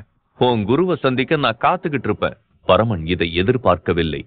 பரமன் விஷ்ணுவை தாக்க முயல்வதற்குள் விஷ்ணு அவனை அடித்து தரையில் வீழ்த்தினான். அடுத்த அடி அடித்து அவன் உயிரை எடுக்க நினைத்த விஷ்ணு ஒரு கணம் அவன் நண்பர்கள் அனைவரும் அவனுக்கு பின் இருப்பதை யோசித்துவிட்டு நின்றான். அதை புரிந்து கொண்ட தாமோதரன் விஷ்ணு அவனை விட்டுரு. அவனை நான் பார்த்துக்கிறேன். விஷ்ணு விலகிக் கொள்ள தாமோதரன் பரமனை தனியாக இழுத்துச் சென்றார். தனி அறைக்கு அவனை இழுத்துச் செல்ல அங்கிருந்து பரமனின் உயிர் போகும் சத்தம் மட்டுமே வெளிவந்தது. பல்லவி என்ன கல்யாணம் செஞ்சுக்க போறேன்னு சொன்னதை பற்றி விஷ்ணுவிடம் கேட்க நினைத்தாள். ஆனால் அருகில் அப்பா உதயகுமார் இருந்ததால் அதை தவிர்த்து நின்றாள். தயானந்தன் விஷ்ணுவை நெருங்கி உனக்கு நாங்க கடமைப்பட்டிருக்கிறோம் விஷ்ணு. அப்படி கூறிய தயானந்தன் விஷ்ணுவை வணங்க தலை குனிந்தார் உடனே அவரை தடுத்த விஷ்ணு ஐயா நீங்க பெரியவங்க. எனக்கு இப்படி மரியாதை கொடுக்க தேவையில்லை. நான் மூலிகைகளுக்காகத்தான் இங்க வந்தேன். தயானந்தன் உள்ளே சென்று அந்த மூலிகைகளை கொண்டு வந்து விஷ்ணுவிடம் கொடுத்தார். விஷ்ணு அதை பெற்றுக்கொண்டு அவரை வணங்கினான். சரி என் மகளுக்கு அவளோட நோய் பூரண குணம் ஆயிடுச்சா ஏன்னா இந்த நோய் பத்தி நான் கேள்விப்பட்டிருக்கிறேன். திரும்பவும் அது தாக்கம் கொடுக்கும்னு சொன்னாங்க. கடைசி நூறு வருஷத்துல ஒரு சில ஆட்கள் தான் இந்த நோய் எதிர்கொண்டு இருந்திருக்கிறாங்க நீங்க சொல்றதுக்கு வாய்ப்பு இருந்தாலும் யாருக்கும் உங்க பொண்ணு மாதிரி முழுசா குணம் ஆனதில்ல. நான் அடிக்கடி இங்க வந்து பாத்துக்கிறேன். அப்படி மறுபடியும் உங்க மகளுக்கு உடம்பு சரியில்லாம போச்சுன்னா நீங்க தாராளமா என்ன கூப்பிடலாம். ரொம்ப நன்றி விஷ்ணு. தாமோதரன் விஷ்ணு மேல் கை போட்டு உன்னை குறைவா இட போட்டுட்டு தம்பி. ஆனா நீ பெரிய விஷயங்களை சாதிக்க பிறந்த ஒருத்தன். ஐயா நீங்க என்ன ரொம்ப புகழ்றீங்க. அங்கிருந்து அனைவரும் அந்த மடத்திலிருந்து வெளியேறி மலை அடிவாரத்திற்கு வந்தார்கள். அங்கே குணா விக்ரமன் ஒரு காரிலும் வாத்தியார் உதயகுமார் ஒரு காரிலும் ஏற விஷ்ணுவும் பல்லவியும் ஒரே காரில் ஏறினார்கள். அதே நேரத்தில் மழையும் பெய்யத் தொடங்கியது. பல்லவி மெதுவாக பேசத் தொடங்கினாள். நான் கல்யாணம் செஞ்சுக்க போற பொண்ணுன்னு என்னையே சொன்ன? நானா? எப்ப சொன்ன? நடிக்காதடா. கேக்குறதுக்கு மட்டும் பதில் சொல்லு. அதெல்லாம் சும்மா அவன்கிட்ட ஒரு டயலாக் பேச மட்டும் சொன்னேன் பல்லவி அவனை செல்லமாக அடித்தாள். அது என்ன? டயலாக்கு மட்டும்தான் மனைவின்னு சொல்லுவியா அதான் நமக்கு கல்யாணம் ஆகலையே. அதான் பிரச்சனை. சோ நம்ம கல்யாணம் செஞ்சுக்கலாம். ஓகேவா ஏ லூசு கல்யாணம் எவ்வளவு பெரிய விஷயம் தெரியுமா? சும்மா நினைச்ச உடனே பண்ணிக்க இது விளையாட்டு இல்ல. டேய் நீ ரொம்ப பேசாத. ரெண்டு வீட்லயும் பேசுவோம். மத்த எல்லாத்தையும் அவங்க பாத்துப்பாங்க அதெல்லாம் சரிதான். அப்புறம் என்ன? எனக்கு சில கடமைகள் இருக்கு. அது வரைக்கும் நீ காத்துக்கிட்டு இருக்கணும். அதுக்கு எவ்வளவு நாள் ஆகும்? நான் எவ்வளவு நாள் காத்திருக்கணும்? கொஞ்ச நாள் இருக்கலாம்ல. உனக்கு வயசாகி கிழவியாகிற வரை காத்திருக்க வேண்டியிருக்கலாம். இந்த முறை பல்லவி கோபமாக விஷ்ணுவை அடித்தாள். ஆனால் அவளுக்குத்தான் கை வலித்தது. எரும மாடு மாதிரி உடம்பு வச்சிருக்க. எனக்கு தாண்டா கை வலிக்குது. நீ தாண்டி ரொம்ப வீக்கா இருக்க. ஓகே. என்னால ரொம்ப நாள் காத்திருக்க முடியாது விஷ்ணு.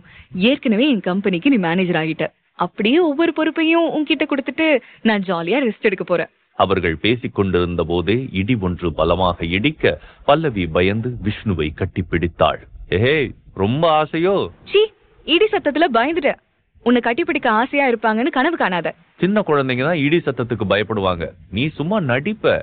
யாரா இருந்தாலும் எதிர்பாராம சத்தத்தை கேட்டா பயப்படதான் செய்வாங்க. நீ சண்டை போடுறது மத்த எல்லாத்துலயும் ஓகே. ஆனா சின்ன சின்ன விஷயங்கள் உனக்கு தெரியவே மாட்டேங்குது.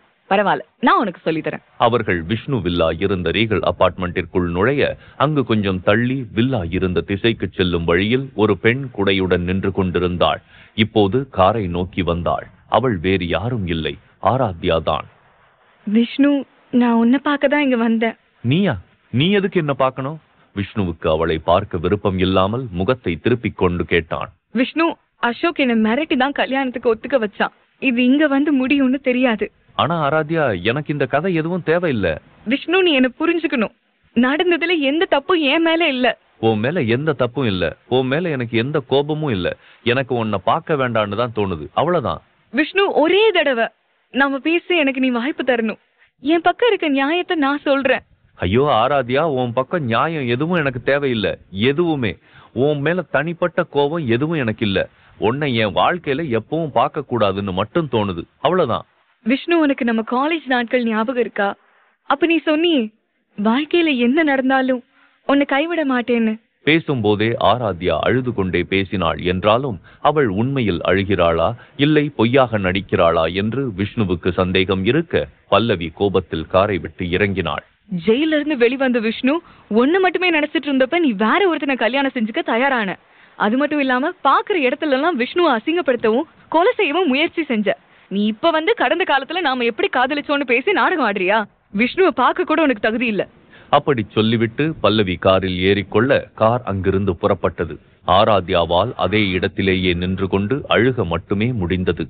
அவ மேல எனக்கு தனிப்பட்ட கோபம்லாம் எதுவும் இல்ல. ஆனா அந்த மாதிரி ஒருத்திய என் வாழ்நாள்ல திரும்ப பார்க்க கூடாதுன்னு மட்டும் தோணுது. நீ ஜெயிலுக்கு போனது நல்லதுதான். இல்ல இந்த மாதிரி பொண்ணுதான் உன் கூட இருந்திருப்பா. அது மட்டுமா? பொண்ண மாதிரி பொண்ண பார்க்காமலேயே போயிருந்திருப்பேன். விஷ்ணு இதை கூறியதும் அவன் கண்களை அவள் பார்க்க விஷ்ணு கண்களில் காதல் வெளிப்பட்டது. நிஜமாதான் சொல்றியா? ஆமா உன்னை பார்க்காம இருந்திருந்தா சந்தோஷமா இருந்திருப்பேன். அவன் சிரித்துக்கொண்டே சொல்ல பல்லவி மீண்டும் அவனை அடித்தாள். பலமாக அடிக்க அவள் கை வலித்தது. போடா மாடு உன்னை அடிச்சு என் கைதான் வலிக்குது. வில்லாவுக்கு இருவரும் வர விஷ்ணு மட்டும் இறங்கிக் கொண்டான். ஓகே பல்லவி நான் கிளம்புறேன். நானும் இன்னைக்கு இங்கே தங்கிக்கிறேன். இங்கயா? எந்த ரூம்ல தங்குவ? இங்க நிறைய ரூம் இருக்கு தானே ஏதாச்சும் ஒரு ரூம்ல தங்கிக்கிறேன். நானும் முழுசா நினைச்சிட்டேன் பல்லவி ஆராத்யாவுடன் பேச மழையில் நனைந்து விட்டதால் அவள் உடையெல்லாம் ஈரமாகிவிட விஷ்ணு வில்லாவுக்குள் நுழைந்தாள். அவர்கள் வந்ததும் பாஞ்சாலி வந்தாள். விஷ்ணு நானும் இங்கதான் இருக்கேன் ஆன்ட்டி வாமா பல்லவி. பாஞ்சாலி பல்லவியை தொட்டு பார்க்க அவள் முழுவதுமாக நனைந்திருந்தாள். ஐயோ எவ்ளோ ஈரமா இருக்கு. இங்க என்னோட Dress எல்லாம் உனக்கு செட் ஆகாதேமா அதெல்லாம் தேவையில்ல ஆன்ட்டி மேல என்னோட Dress கொஞ்சம் இருக்கு. ம், ஆமால இது உன்னோட வில்லாதான் மறந்துட்டேன். பார்க்க முடிஞ்சதுன்னா அதெல்லாம் பார்த்திருப்பேன். இனி நீங்க அதை நினைச்சு கவலைப்பட தேவையில்லம்மா. அதை நினைச்சு கவலைப்பட வேண்டாம்னா என்ன சொல்ல வர விஷ்ணு? நான் இவ்ளோ நாள் காத்துக்கிட்டு இருந்த மூலிகைகள் எனக்கு கிடைச்சிருச்சுப்பா. அதனால இன்னைக்கே ஆன்ட்டிய விஷ்ணு குணப்படுத்த முடியும். இதை சொன்னதும் பெற்றோர்கள் எதுவும் புரியாமல் விஷ்ணுவை பார்த்தார்கள். பல்லவி உடைகளை மாத்திவிட்டு வர விஷ்ணு அவன் மூலிகைகளை வைத்து சில வேலைகள் பார்த்து கொண்டிருந்தான். விஷ்ணுவின் டாலர் இப்போது பச்சை நிறத்தில் பிரகாசமாகி அடங்கியது. பாஞ்சாலிக்கு இதில் நம்பிக்கை இல்லை. சொல்லப்போனால் வாழ்க்கை முழுக்க கண் இல்லாமல் வாழவும் அவளுக்கு சரிதான் என்பது போல் அவள் தயாராகி இருந்தாள். இது எதுவும் வேலை செய்யலன்னா அதை நினைச்சு கவலைப்பட வேண்டாம் விஷ்ணு. அம்மா இதோட வாழ பழகிட்டேன் இது கண்டிப்பா வேலை செய்யுமா உங்க கண் பார்வைய நான் திரும்ப கொண்டு வருவேன் உங்களுக்கு வாக்கு கொடுத்தேன். அதை செஞ்சு முடிப்பேன். விஷ்ணு இவ்வளவு நம்பிக்கையில் கூற யாருக்குத்தான் இருக்காது. இந்த ஆசை பார்வை இழந்து போயிருக்கும் ஒவ்வொருவருக்கும் இந்த உலகத்தின் வண்ணங்களை பார்க்க இருக்கும் ஆசை பாஞ்சாலி மனதின் ஓரத்தில் இருந்தது. விஷ்ணு அவனின் மூலிகைகளை கொண்டு ஒரு பேஸ்ட் ஒன்றை தயார் செய்து பாஞ்சாலி முன் வந்து நின்றான். அம்மா கொஞ்சம் எரியும். ஆனா அதை பொறுத்துக்கோங்க. சதாசிவம் மனைவி பாஞ்சாலிக்கு ஆறுதலாக அவளை பிடித்து நிற்க விஷ்ணு அந்த மூலிகைகளை கொண்டு செய்த பேஸ்டை பாஞ்சாலி கண்களில் தடவ சில நொடிகளில் இது ரொம்ப எரிச்சலை கொடுக்குது. இன்னும் சில நொடிகள் கழித்து இப்போ பரவாயில்ல கூடவே எதுவும் மாறி இருக்கு. பாஞ்சாலி கண்களை திறந்தாள். காட்சிகள் மங்களாக தெரிய ஆரம்பித்தன. நேராக இருந்த விஷ்ணுவை பார்த்து அழுதாள். அவன் முகத்தை வருடினாள். எனக்கு உன்னோட அழகான முகம் தெரியுது விஷ்ணு. விஷ்ணு மிக மகிழ்ச்சியாக அவனின் அம்மாவை கட்டிப்பிடித்தான். உண்மையை சொல்லு பாஞ்சாலி. உனக்கு கண் பார்வை நல்லா தெரியுதா? உங்ககிட்ட பல நாள் சொல்லியும் நீங்க ஏன் உங்க தாடிய ஷேவ் பண்ணாம இருக்கீங்க? சதாசிவம் சந்தோஷத்தில் மனைவி பாஞ்சாலியை கட்டிப்பிடித்து தூக்கி சுற்ற இருவரும் சிரித்தார்கள். இந்த காட்சியை பார்க்கத்தான் விஷ்ணு துடித்துக் கொண்டிருந்தான். கடைசியில் இதை பார்த்தபோது அவன் கண்களின் ஓரத்தில் கண்ணீர் வழிந்தது. எபிசோட் தேர்ட்டி சிக்ஸ் சதாசிவம் தன் மனைவியை தூக்கி கொண்டாடினார். பாஞ்சாலிக்கு கண் பார்வை திரும்பி வந்த சந்தோஷத்தில் அவருக்கு தலைகால் புரியவில்லை. பல்லவியை பார்த்த பாஞ்சாலி பல்லவி எப்படி இருப்பாள் என்று மனக்கணக்கு போட்டு வைத்திருந்த பாஞ்சாலி இப்போது பல்லவியை நேரில் பார்க்க பல்லவி நீ ரொம்ப அழகா லட்சணமா இருக்கமா. பல்லவி வெட்கத்தில் தலை குனிந்தாள் இவ்ளோ நாளா உன் குரலை வச்சு மனசளவுல கணக்கு போட்டுட்டு இருந்தேன். ஆனா நேர்ல பார்க்கும்போது தான் தெரியுது. பல்லவி ஒரு தேவதைன்னு. ஆன்டி என்ன வெக்கப்பட வைக்காதீங்க. என் பொண்டாட்டி சரியா தான் சொல்றா பல்லவிமா அது சரி பாஞ்சாலி என் கூட வா வெளியே. சில அழகான இடம்லாம் இருக்கு. உன்னை கூட்டிட்டு போய் காட்டுறேன். பல்லவி லேட் ஆகி போச்சு. இனி வீட்டுக்கு போக வேண்டாம். இங்கே இரு. காலையில போலாம். ஓகே ஆன்டி சதாசிவம் பாஞ்சாலியை வெளியே அழைத்துச் சென்றார். பல்லவி அங்கேயே தங்கிக் கொள்ள இரவு அந்த ஏழு நட்சத்திர கோப்பையை வைத்து அதில் உள்ள சக்தியை தன் உடலில் ஏற்றிக்கொள்ளும் முயற்சியில் ஈடுபட்ட விஷ்ணு அப்படியே தூங்கிவிட்டான். காலையில் அவன் அறை கதவுகள் தட்டப்பட்டது. இன்னும் எவ்வளவு நேரம்டா தூங்குவ? விஷ்ணு சாப்பாடு ரெடியா இருக்கு. வந்து சாப்பிடு. பல்லவி இன்னும் கொஞ்ச நேரம் தூங்கிக்கிறேன்னு இன்னைக்கு ஆபீஸ் போலியா? அது தேவையில்லை. அதை விட முக்கியமான ஒரு வேலை இன்னைக்கு இருக்கு. ஏதோ செஞ்சு தோல. நான் கிளம்புறேன். எந்திரிச்சு சாப்பிடு. அங்கிள் ஆண்டி ரெண்டு பேரும் வெளியே போயிருக்காங்க. விஷ்ணு எழுந்து அந்த ஏழு நட்சத்திர கோப்பையை மறைவாக வைத்துவிட்டு வெளியே வந்து சாப்பிட்டான். சாப்பிட்டு முடித்து கொஞ்ச நேரத்திலேயே வீட்டின் காலிங் பெல் அடிக்க விஷ்ணு வெளியே சென்று பார்த்தான். ஒரு பார்சல் அவனுக்கு வந்திருந்தது. அதை பிரித்து பார்க்க எல்லாமே மருத்துவத்திற்கு உதவியான பொருட்கள் மாத்திரைகள். ஓகே பல்லவி கிட்ட கேட்ட மாத்திரைகளும் மத்த மருத்துவ பொருட்களும் வந்திருக்கு. விஷ்ணு அவனுடைய போனை எடுத்து வாத்தியாருக்கு கால் செய்தான். அண்ணா எங்க இருக்கீங்க? என்ன விஷ்ணு? ஏதோ முக்கியமான விஷயமா? ஆமாண்ணா நான் உங்களுக்கு ஒரு மாத்திரை கொண்டு வரேன். அதை நீங்க யூஸ் பண்ணணும். கடந்த காலத்துல சண்டை போட்டு வீக்கான உங்க உடல் பாகங்கள் எல்லாம் புது பொலிவு பெறும். அப்படியா? நீ எங்க இருக்கன்னு சொல்லு விஷ்ணு. நான் உடனடியா வரேன். பாஞ்சாலி சதாசிவம் இருக்கும் வீட்டில் வாத்தியார் வர வேண்டாம் என்று விஷ்ணு நினைத்தான். வேண்டாண்ணா நீங்க எங்க இருக்கீங்கன்னு சொல்லுங்க. நானே வரேன். என்னோட கிரீன் ரெஸ்டாரண்ட்ல தான் இருக்கேன். Room number one eighty three உடனே தேவையான மருந்துகளை எடுத்துக்கொண்டு விஷ்ணு அங்கிருந்து விரைந்தான். நேராக டாக்ஸி பிடித்து அந்த ரெஸ்டாரண்ட் முன்னால் சென்று இறங்கி டாக்ஸிக்காரனுக்கு பணம் கொடுத்துவிட்டு கிரீன் ரெஸ்டாரண்ட் உள்ளே போகும் முன் ஒரு ஆடி கார் அவனை மறித்து நிற்க அதில் அவனுடைய கிளாஸ்மேட்ஸ் சதீஷ் மற்றும் சுபா. ஏ விஷ்ணு நீ எப்படிங்க? நம்ம கிளாஸ் ரீயூனியன் உனக்கு யார் சொன்னா? விஷ்ணு அமைதியாக நின்று இருந்தான். எப்போதும் போல அவனுக்கு பிடித்த சாதாரண உடைகளை அணிந்திருந்தான்.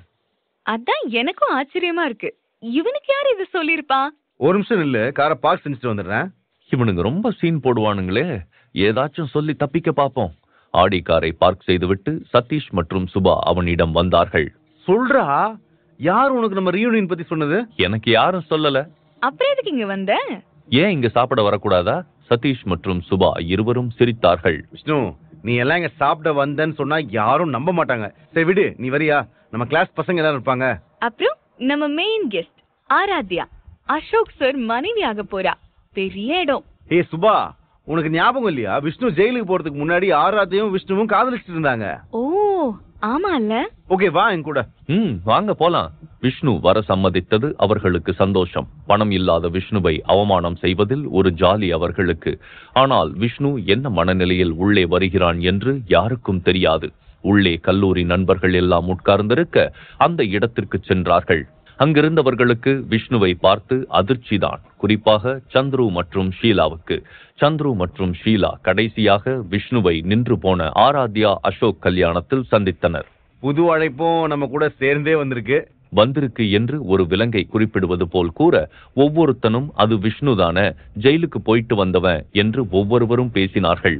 விஷ்ணுவுக்கு இவர்கள் எப்படித்தான் பேசுவார்கள் என்று எப்பவோ தெரியும். அதில் ஒருவன் மட்டும் எழுந்தான். அவன் விஷ்ணுவுக்கு படிக்கும் காலத்திலிருந்தே நல்ல நண்பன் ரமேஷ். ஏ விஷ்ணு வா இங்க வந்து உட்காரு.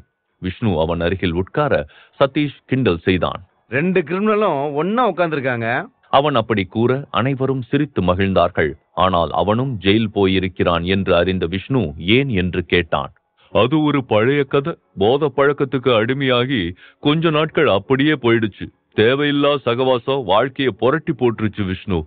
இப்பதான் எல்லாத்தையும் விட்டுட்டு புது மனுஷனா வாழ முயற்சி பண்ணிக்கிட்டு இருக்கிற. இப்போ நீ அதை விட்டு வெளியே வந்திருக்கியே. அதுவே பெரிய விஷயம். நீ ஜெயில் விட்டு வந்து என்ன வேலை பார்த்துட்டு இருக்கிற விஷ்ணு? உனக்கு உதவி வேணும்னா கேளு. எனக்கு ஒரு ப்ராஜெக்ட் போயிட்டு இருக்கு. நான் உதவுறேன். கண்டிப்பா ரமேஷ். அவர்கள் பேசுவதை கேட்ட சதீஷ் தொடர்ந்து அவர்களை கிண்டல் செய்வதில் ஆர்வமாக இருந்தான். அந்த செக்யூரிட்டி வேலை என்னாச்சு ரமேஷ்? இல்ல அந்த செக்யூரிட்டி வேலையை தான் விஷ்ணுக்கு வாங்கி தர போறியா? அந்த செக்யூரிட்டி வேலை தான் உனக்கு வேணும்னா அதுக்கு பதிலா நானே உனக்கு வேலை தருவேன் விஷ்ணு. என்னோட ஹஸ்கி நாய்க்கு நீ தான் செக்யூரிட்டியா இருக்கணும். ஓகேவா அனைவரும் அவனை கிண்டல் செய்து சிரித்தார்கள். ஜெயில் விட்டு வெளியே வந்தவனுக்கு இந்த வேலை கிடைக்கிறது அதிர்ஷ்டம் என்று சொல்லி ரொம்பவே கிண்டல் செய்தார்கள். ஓகே விஷ்ணு. சும்மா தான் கிண்டல் பண்றோம். அண்ட் யூ நோ இந்த ரெஸ்டாரண்ட்ல டேபிள் கிடைக்கிறது ரொம்ப கஷ்டம். இன்னைக்கு நாங்க பிளான் பண்ணதால நீங்க சாப்பிட வாய்ப்பு கிடைச்சிருக்கு. சதீஷ் வேண்டுமென்றே விஷ்ணுவை அசிங்கப்படுத்தவே இதை கூறினான். அண்ட் கைஸ் இந்த ரெஸ்டாரண்ட் மேனேஜர் என்னோட கசின் அண்ட் வாத்தியார அவனுக்கு பர்சனலா தெரியும். இங்க யாராச்சும் ஏதாச்சும் பிரச்சனையில மாட்டிக்கிட்டா எனக்கு கால் பண்ணுங்க. அவர்கள் பேசிக் கொண்டிருக்கும் போதே ஆராத்யா வர எல்லோரும் எழுந்து அவளை வரவேற்றனர். அதில் ஒரு ஆள் மட்டும் அமர்ந்திருக்க அது விஷ்ணு என கண்டாள் ஆராத்யா. ஷீலா ஆராத்யா அருகில் சென்று விஷ்ணுவை இன்னைக்கு அவமானம் செஞ்சு அழ வைக்கணும். ஷட் அப் ஆராத்யா நேராகச் சென்று ரமேஷை எழுப்பிவிட்டு விஷ்ணு அருகில் அமர்ந்தாள். நான் விஷ்ணு பக்கத்துல தான் உட்காருவேன். அவள் அதைச் செய்ய அது அனைவருக்கும் அதிர்ச்சியாக இருந்தது. விலகிச் சென்ற ரமேஷ் கையை பிடித்த விஷ்ணு ரமேஷ் இங்கேயே உட்காரு. எனக்கு இவ பக்கத்துல உட்கார பிடிக்கல. ஆராத்யாவை அப்படி கூறியதும் அனைவரும் கோபத்தில் பொங்க. இட்ஸ் ஓகே உனக்கு எதிரில் உட்காந்து உன்னையவே பாத்துக்கிறேன் எல்லோரும் ஆச்சரியமாக விஷ்ணு போனுக்கு அழைப்பு வந்தது. அதை அட்டன் செய்தான். விஷ்ணு என் ரூம்ல காத்துட்டு இருக்க நீ வந்துட்டியா? வெயிட் பண்ணுங்கண்ணா. இங்க ஒரே கொசு தொல்லையா இருக்கு. அடிச்சு போட்டு வரேன். அப்படி சொல்லிவிட்டு காலை கட் செய்தான். சதீஷ் ஆர்வமாக கேட்டான். உன் கூட யார் ஃபோன் பேசினா? வாத்தியார் இந்த ரெஸ்டாரண்ட் ஓனர் அவரா? ஆமா அனைவரும் ஒன்றாகச் சிரித்து விஷ்ணுவை கேலி செய்ய விஷ்ணுவும் முட்டாள்கள் யார் என்று தெரியும் என்பது போல அவர்களை பார்த்து சிரித்தான். பின் எல்லோருமே ஆராத்யாவிடம் அசோக் பற்றி விசாரித்துக் கொண்டே இருந்தார்கள். ஆராத்யா ப்ளீஸ் எங்களுக்காக அசோக் சார் இங்க கூப்பிடு. ஆமா நீ சொன்னா அவர் கேப்பாருன்னு தெரியும். விஷ்ணு இங்க இருக்கான்னு தெரிஞ்சா அவனை சிறப்பா கவனிக்கவே அவர் வருவாரு. ஆராத்யா விஷ்ணுவை ஒரு பார்வை பார்த்துவிட்டு பின் போனை எடுத்து அசோக்கிற்கு கால் செய்தாள். ஹாய் அசோக் உனக்கு அறிவே இருக்காதா? எனக்கு கால் பண்ணாதன்னு சொல்லிருக்கல நீ பிஸியா இருப்பேன்னு தெரியும். நான் என் ஃப்ரெண்ட்ஸ் ரீயூனியனுக்கு வந்திருக்கேன். அப்புறம் இங்க விஷ்ணுவும் இருக்கான். அவன் தான் உனக்கு கால் பண்ண சொன்னது. விஷ்ணு தன்னை வரச் சொல்லி இருக்கானா என்று பலமுறை யோசித்த அசோக் உடனடியாக அவனை சென்று சந்திப்பதுதான் சரி என்று முடிவெடுத்து கிளம்பினான். கொஞ்ச நேரத்தில் டே விஷ்ணு அசோக் எவ்வளவு பெரிய ஆளு. அவரை அடிச்சு ஆராத்யாவை அவமானப்படுத்தி என்ன கலடா பண்ணிருக்க? நான் அந்த இடத்துல இருந்திருக்கணும் உன்னை வேற மாதிரி செஞ்சிருப்பேன். இதை கூறி முடிக்க பளார் என்று அவன் கன்னத்தில் அறைந்தான் விஷ்ணு. அனைவரும் அதிர்ந்து போனார்கள். இப்ப ஒன்ன அடிச்சிட்டேன். என்ன செஞ்சு கிழிப்பேன்னு காட்டு பாப்போம். உன்னை உன்னை. மீண்டும் பளார் என்று அறைந்தான். இருடா என் கசனை கூட்டு வரேன். ஆளை கூட்டிட்டு வந்து உன்னை பொழகிறேன் பாரு. கோபமாக எழுந்து கதவை வேகமாக சாத்திவிட்டு சென்றான் சதீஷ். மற்றவர்கள் எல்லோரும் விஷ்ணுவை குறை கூற அடுத்த நொடி அசோக் உள்ளே வந்தான். அவனுக்கு பின்னாலேயே சதீஷ் பிசினஸ் டீலுக்காக வந்தான். எல்லோரும் அசோக்குக்கு மரியாதை கொடுத்து நிற்க அவன் நேராக விஷ்ணுவிடம் வந்து சொல்லுங்க விஷ்ணு நீங்க கூப்பிட்டு இருந்தீங்கன்னு சொன்னாங்க. இந்த சதீஷ் கூட உனக்கு என்ன டீல் அவங்க கம்பெனி ஜஸ்ட் ஒரு ப்ரொபோசல் மட்டும் கொடுத்துருக்காங்க அவ்வளவுதான். அதை நாங்க பெருசா கூட எடுத்துக்கல. அசோக் ஒரே நொடியில் மாற்றி பேசியதும் சதீஷ் அதிர்ந்தான். அசோக் சார். வாய மூடுறா. ஓகே அப்போ எங்க கூட டீல் போட்டுக்கோ. அதுல எனக்கு பெரிய சந்தோஷம் விஷ்ணு. ஓகே அசோக் அதுக்காக தான் கூப்பிட்டேன். நீ கிளம்பு. விஷ்ணு சாதாரணமாக கூறிவிட்டு வெளியே சென்றான். அதை பார்த்த அனைவருக்கும் ஆச்சரியம்தான். அசோக் வெளியே கிளம்பும் முன் சதீஷ் அவனிடம் ஓடினான். அசோக் சார் எங்க அடியில சும்மா விட்டீங்க. என் கசனுக்கு வாத்தியார தெரியும்.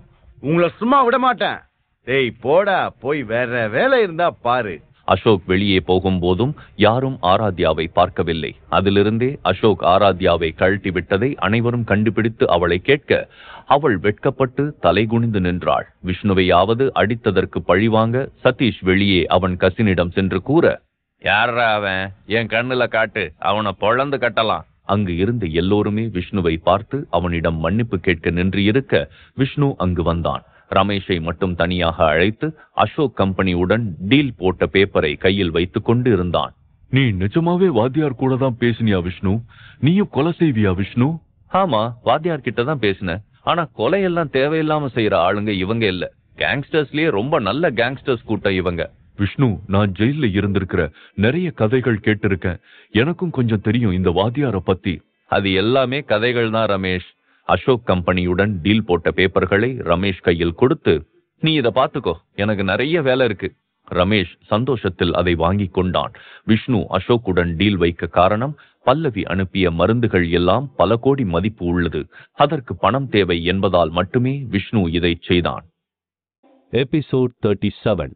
விஷ்ணு ரமேஷுடன் பேசிக்கொண்டு நின்று இருந்தான். அதே நேரத்தில் சதீஷ் அவனுடைய கசின் பகலவனிடம் கூறி தன்னை அடித்த விஷ்ணுவை அடிக்க அவனை தேடிக் கொண்டிருந்தார்கள் அவர்கள் விஷ்ணுவை பார்த்தவுடனே பகலவா அவன் தான் என்ன அடிச்சது?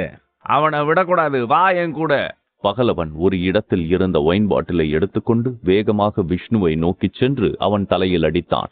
விஷ்ணு தலை குனிந்து உட்கார ரமேஷ் ஸ்டூல் ஒன்றை எடுத்துக்கொண்டு எதிர்த்து சண்டை போட தயாரானான்.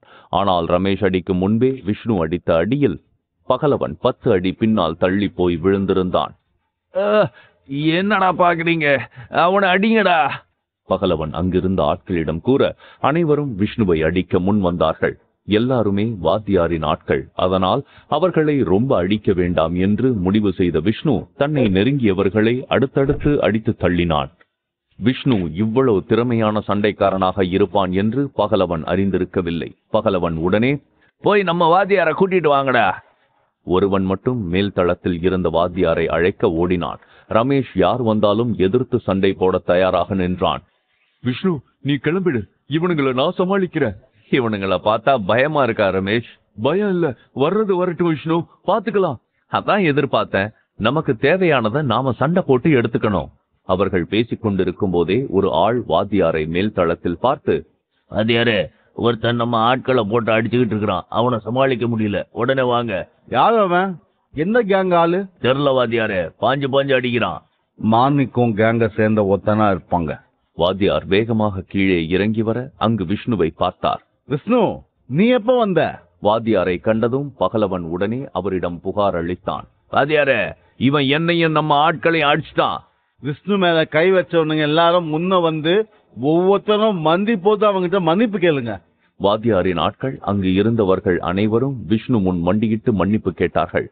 பகலவன் எதுவும் புரியாமல் ஆனா வாத்தியாரே நீ எவ்வளவு வருஷமா என் கூட இருக்க? அஞ்சு வருஷம். யோசிக்காம உன்னை என் இடத்துல இருந்து துரத்திடுவேன். பதறிப் போன பகலவன் வேகமாக வாத்தியார் முன் மண்டியிட்டு என்ன மன்னிச்சிடுங்க வாத்தியாரே நீங்களே கதின்னு கிடக்குறேன். ப்ளீஸ் என்ன உங்க இடத்துல இருந்து துரத்திடாதீங்க. மன்னிப்பு விஷ்ணு கிட்ட கேளு. பகலவன் வேகமாக விஷ்ணு முன் சென்று மண்டியிட்டு விஷ்ணு நீங்க யாருன்னு தெரியாம கை வச்சிட்டேன். ப்ளீஸ் என்ன மன்னிச்சிடுங்க பகலவா என்ன பண்ற? டேய் மண்டி போட்டு மன்னிப்பு கேளுடா. பகலவன் கூற சதீஷும் மண்டியிட்டான். கிளாஸ் ரீயூனியனுக்கு வந்த அனைவரும் இதை பார்த்துக் கொண்டிருந்தார்கள். விஷ்ணுவை கிண்டல் செய்து பேசியதை நினைத்து வருந்தினார்கள். ஓகே மன்னிச்சிட்டேன். எந்திரிச்சு போங்க. சதீஷும் பகலவனும் எழுந்து செல்ல அதுவரை சண்டை போட தயாராக நின்று இருந்த ரமேஷ் எல்லாமே படத்துல பாக்குற மாதிரி தான் இருக்கு விஷ்ணு. இனி எவன் கீழையும் நீ கை கட்டி வேலை செய்ய வேண்டாம் ரமேஷ். இனி நீ ஒரு மேனேஜர் மாதிரி நடந்துக்க. ஆனா பெரிய ஆட்கள் கிட்ட போகும்போது இது மாதிரி பிரச்சனைகளும் பெருசா வருமே விஷ்ணு. அத பத்தி எல்லாம் நீ யோசிக்க வேண்டாம். வாத்தியாரிடம் ரமேஷை அழைத்துச் சென்ற விஷ்ணு அவனை அவரிடம் அறிமுகம் செய்து வைத்தான். அண்ணா இது என்னோட நண்பன். நம்ம கம்பெனியோட புது மேனேஜர் ஓகே தம்பி ரமேஷ் உங்க வேலையை தொடர்ந்து பாருங்க. ஏதாச்சும் பிரச்சனை வந்துச்சுன்னா என் பேரை சொல்லி அதை நீங்க தீர்த்துக்கலாம். விஷ்ணுவின் கிளாஸ்மேட்ஸ் அனைவரும் ரமேஷ் போல தாங்களும் விஷ்ணுவிடம் நன்றாக பேசியிருந்தால் இப்போது அவனால் ஏதாச்சும் பயன் இருந்திருக்கும் என்று நினைத்து வருந்தினார்கள். வாத்தியாரும் விஷ்ணுவும் வாத்தியாரின் அறைக்குச் சென்றார்கள். அங்கு அவன் வாத்தியாருக்கு கொண்டு வந்திருந்த மாத்திரைகளை இவன் வைத்திருந்த சில மூலிகைகளுடன் சேர்த்து ஒரு சிறு மாத்திரை ஒன்றை இருந்த இடத்திலேயே உருவாக்கினான். அதை வாத்தியாரிடம் கொடுத்தான். இத போட்டுக்கோங்கண்ணா. இதனால என்ன ஆகும் விஷ்ணு? இத போடுங்க உங்களுக்கே தெரியும். வாத்தியார் அந்த மாத்திரையை வாயில் போட்டுக்கொண்டார் அதை போட்ட சில நொடிகளிலேயே உடம்பில் ஒருவித தெம்பு உருவானதை உணர்ந்தார் வாத்தியார். எப்போதும் இருப்பதை விட அதிகமான புத்துணர்ச்சியை உடலில் உணர்ந்தார். இது புது எனர்ஜி எனக்குள்ள உருவான தாக்கத்தை கொடுக்குது விஷ்ணு. அதேதான் அண்ணா. உங்களை வச்சு சில சோதனைகளை செஞ்சு பார்க்கணும். இது எந்த அளவுக்கு வேலை செய்யுதுன்னு. இதுக்கு பின்னால ஒரு அமைதியான இடம் இருக்கு. அங்க போலாம். கிரீன் ரெஸ்டாரண்ட் பின்னால் இருந்த இடத்திற்கு விஷ்ணு மற்றும் வாத்தியார் சென்றார்கள். விஷ்ணு அங்கு வாத்தியாரை வைத்து தன் மருந்துகளை சோதனையிட்டான். வாத்தியாரை அங்கிருந்த பாறையில் வெறும் கையால் அடிக்க கூற வாத்தியார் யோசிக்காமல் அடிக்க அந்த பாறையில் கீறல் விழுந்தது. அதை பார்த்து வாத்தியார் ஆச்சரியமானார். இதைத்தான் எதிர்பார்த்தேன்னா? ஆச்சரியமா இருக்கு. இனிமே மாணிக்கம் இல்ல. அவன் கேங்ல இருந்து எவன் வந்தாலும் உங்களுக்கு ஈடாக முடியாதுன்னா? இந்த மாத்திரைனால உருவாகுற சக்தி அற்புதம் விஷ்ணு. இது போல இன்னும் ரெண்டு மாத்திரை கிடைக்குமா? எதுக்குண்ணா? நம்ம கேங்ல இருக்கிற ஆட்களுக்கு கொடுப்போம். நம்ம கேங்க யாரும் தொட முடியாத அளவுக்கு பவர்ஃபுல்லா மாத்துவோம். ஆனா இதோட மதிப்பு பல கோடிகளை தாண்டும். உனக்கு பணம் பிரச்சனை இல்லையே விஷ்ணு. பல்லவிய கல்யாணம் பண்ணி உதயகுமாருக்கு மருமகனாக போற வசதி வாய்ப்பு பஞ்சம் இருக்காது. ஆனா என்ன என்ன ஒரு பொண்ணு காசை நம்பி என் வாழ்க்கையை நடத்த திட்டம் போட்ட மாதிரி நினைச்சிட்டீங்களா? இல்ல அப்படி இல்ல விஷ்ணு. ஐயோ தெரியாம சொல்லிட்டேன்ப்பா. சரி என்னென்ன மருந்து தேவைன்னு சொல்லு விஷ்ணு. என்னோட கான்டாக்ட் மூலம் இங்க வாங்க முடியுமான்னு பாக்குறேன். விஷ்ணு ஒவ்வொரு மாத்திரைகள் பெயரை கூற வாத்தியார் பேப்பர் பேனா கொண்டு அந்த மருந்துகளை குறித்து வைத்துக் கொண்டார். இதை தவிர்த்து அபூர்வ காளான் அதெல்லாம் எங்கேயாவது ரேரா கிடைக்கக்கூடிய பொருள். அதையும் உங்க ஆளுங்க கிட்ட தேடி பார்க்க சொல்லுங்க. ஓகே விஷ்ணு. அடுத்ததாக விஷ்ணு பல்லவியின் தந்தை உதயகுமாரை குணப்படுத்த திட்டம் போட்டபடி அங்கிருந்து கிளம்பினான். வாத்தியாரே அவனை தன் காரில் அழைத்துக் கொண்டு உதயகுமார் வீட்டிற்கு செல்ல அங்கு ஊரிலேயே பணக்கார ஒருவனின் கார் நின்று இருந்தது. அவனின் பெயர் செல்வா. செல்வாவுக்கு மாணிக்கம் கேங் கூட பழக்கம் இருந்தது வாத்தியாரின் கணிப்பு. இவனோட கார் இங்கேயே நின்னுட்டு இருக்கு ஒருவேளை உதயகுமார் சாரை பார்க்க வந்திருக்கலாம்? ஆமா. அந்த செல்வா வீட்டின் வெளியே நின்று பல்லவி கூட பேசிக் கொண்டிருந்தான். அவன் அவளிடம் பேசிக்கொண்டு கைகளை பிடிக்க முயற்சி செய்ததும் அவனிடமிருந்து அவள் விலகிச் சென்றதும் விஷ்ணு பார்த்து கோபமடைந்தான். ஏன் பல்லவி என் கூட பேச மறுக்கிறா? நான் இங்க உனக்காக மட்டும் வரல அங்கிள் உடம்பு சரியில்லைன்னு தெரியும். அதுக்காக தான் அவருக்கு சில மருந்துலாம் எடுத்துட்டு வந்திருக்கேன். செல்வா என் அப்பாவை பார்க்க வந்தேன்னா அதை மட்டும் செஞ்சுட்டு போ. அடுத்த முறை அவளிடம் செல்வா கையை எடுத்துக்கொண்டு போனபோது விஷ்ணு அவனின் கையை பிடித்தான். ஹலோ மிஸ்டர் நீ யாரு? நான் கல்யாணம் செஞ்சுக்க போற பொண்ணு கையை பிடிக்க போற. நீ யார்ரா வாட் கல்யாணம் செஞ்சுக்க போற பொண்ணா? பல்லவியும் விஷ்ணு கையை பிடித்து நிற்க வெளியே லெமன் டீ போட்டு உதயகுமார் கொண்டு வந்தார். வெளியே வந்த உதயகுமார் விஷ்ணுவை அங்கு பார்த்து ம் விஷ்ணு நீயும் வந்துட்டியா? கமான் வந்து லெமன் டீ எடுத்துக்கோ. விஷ்ணு வா அப்பாவோட லெமன் டீ குடிக்கலாம்.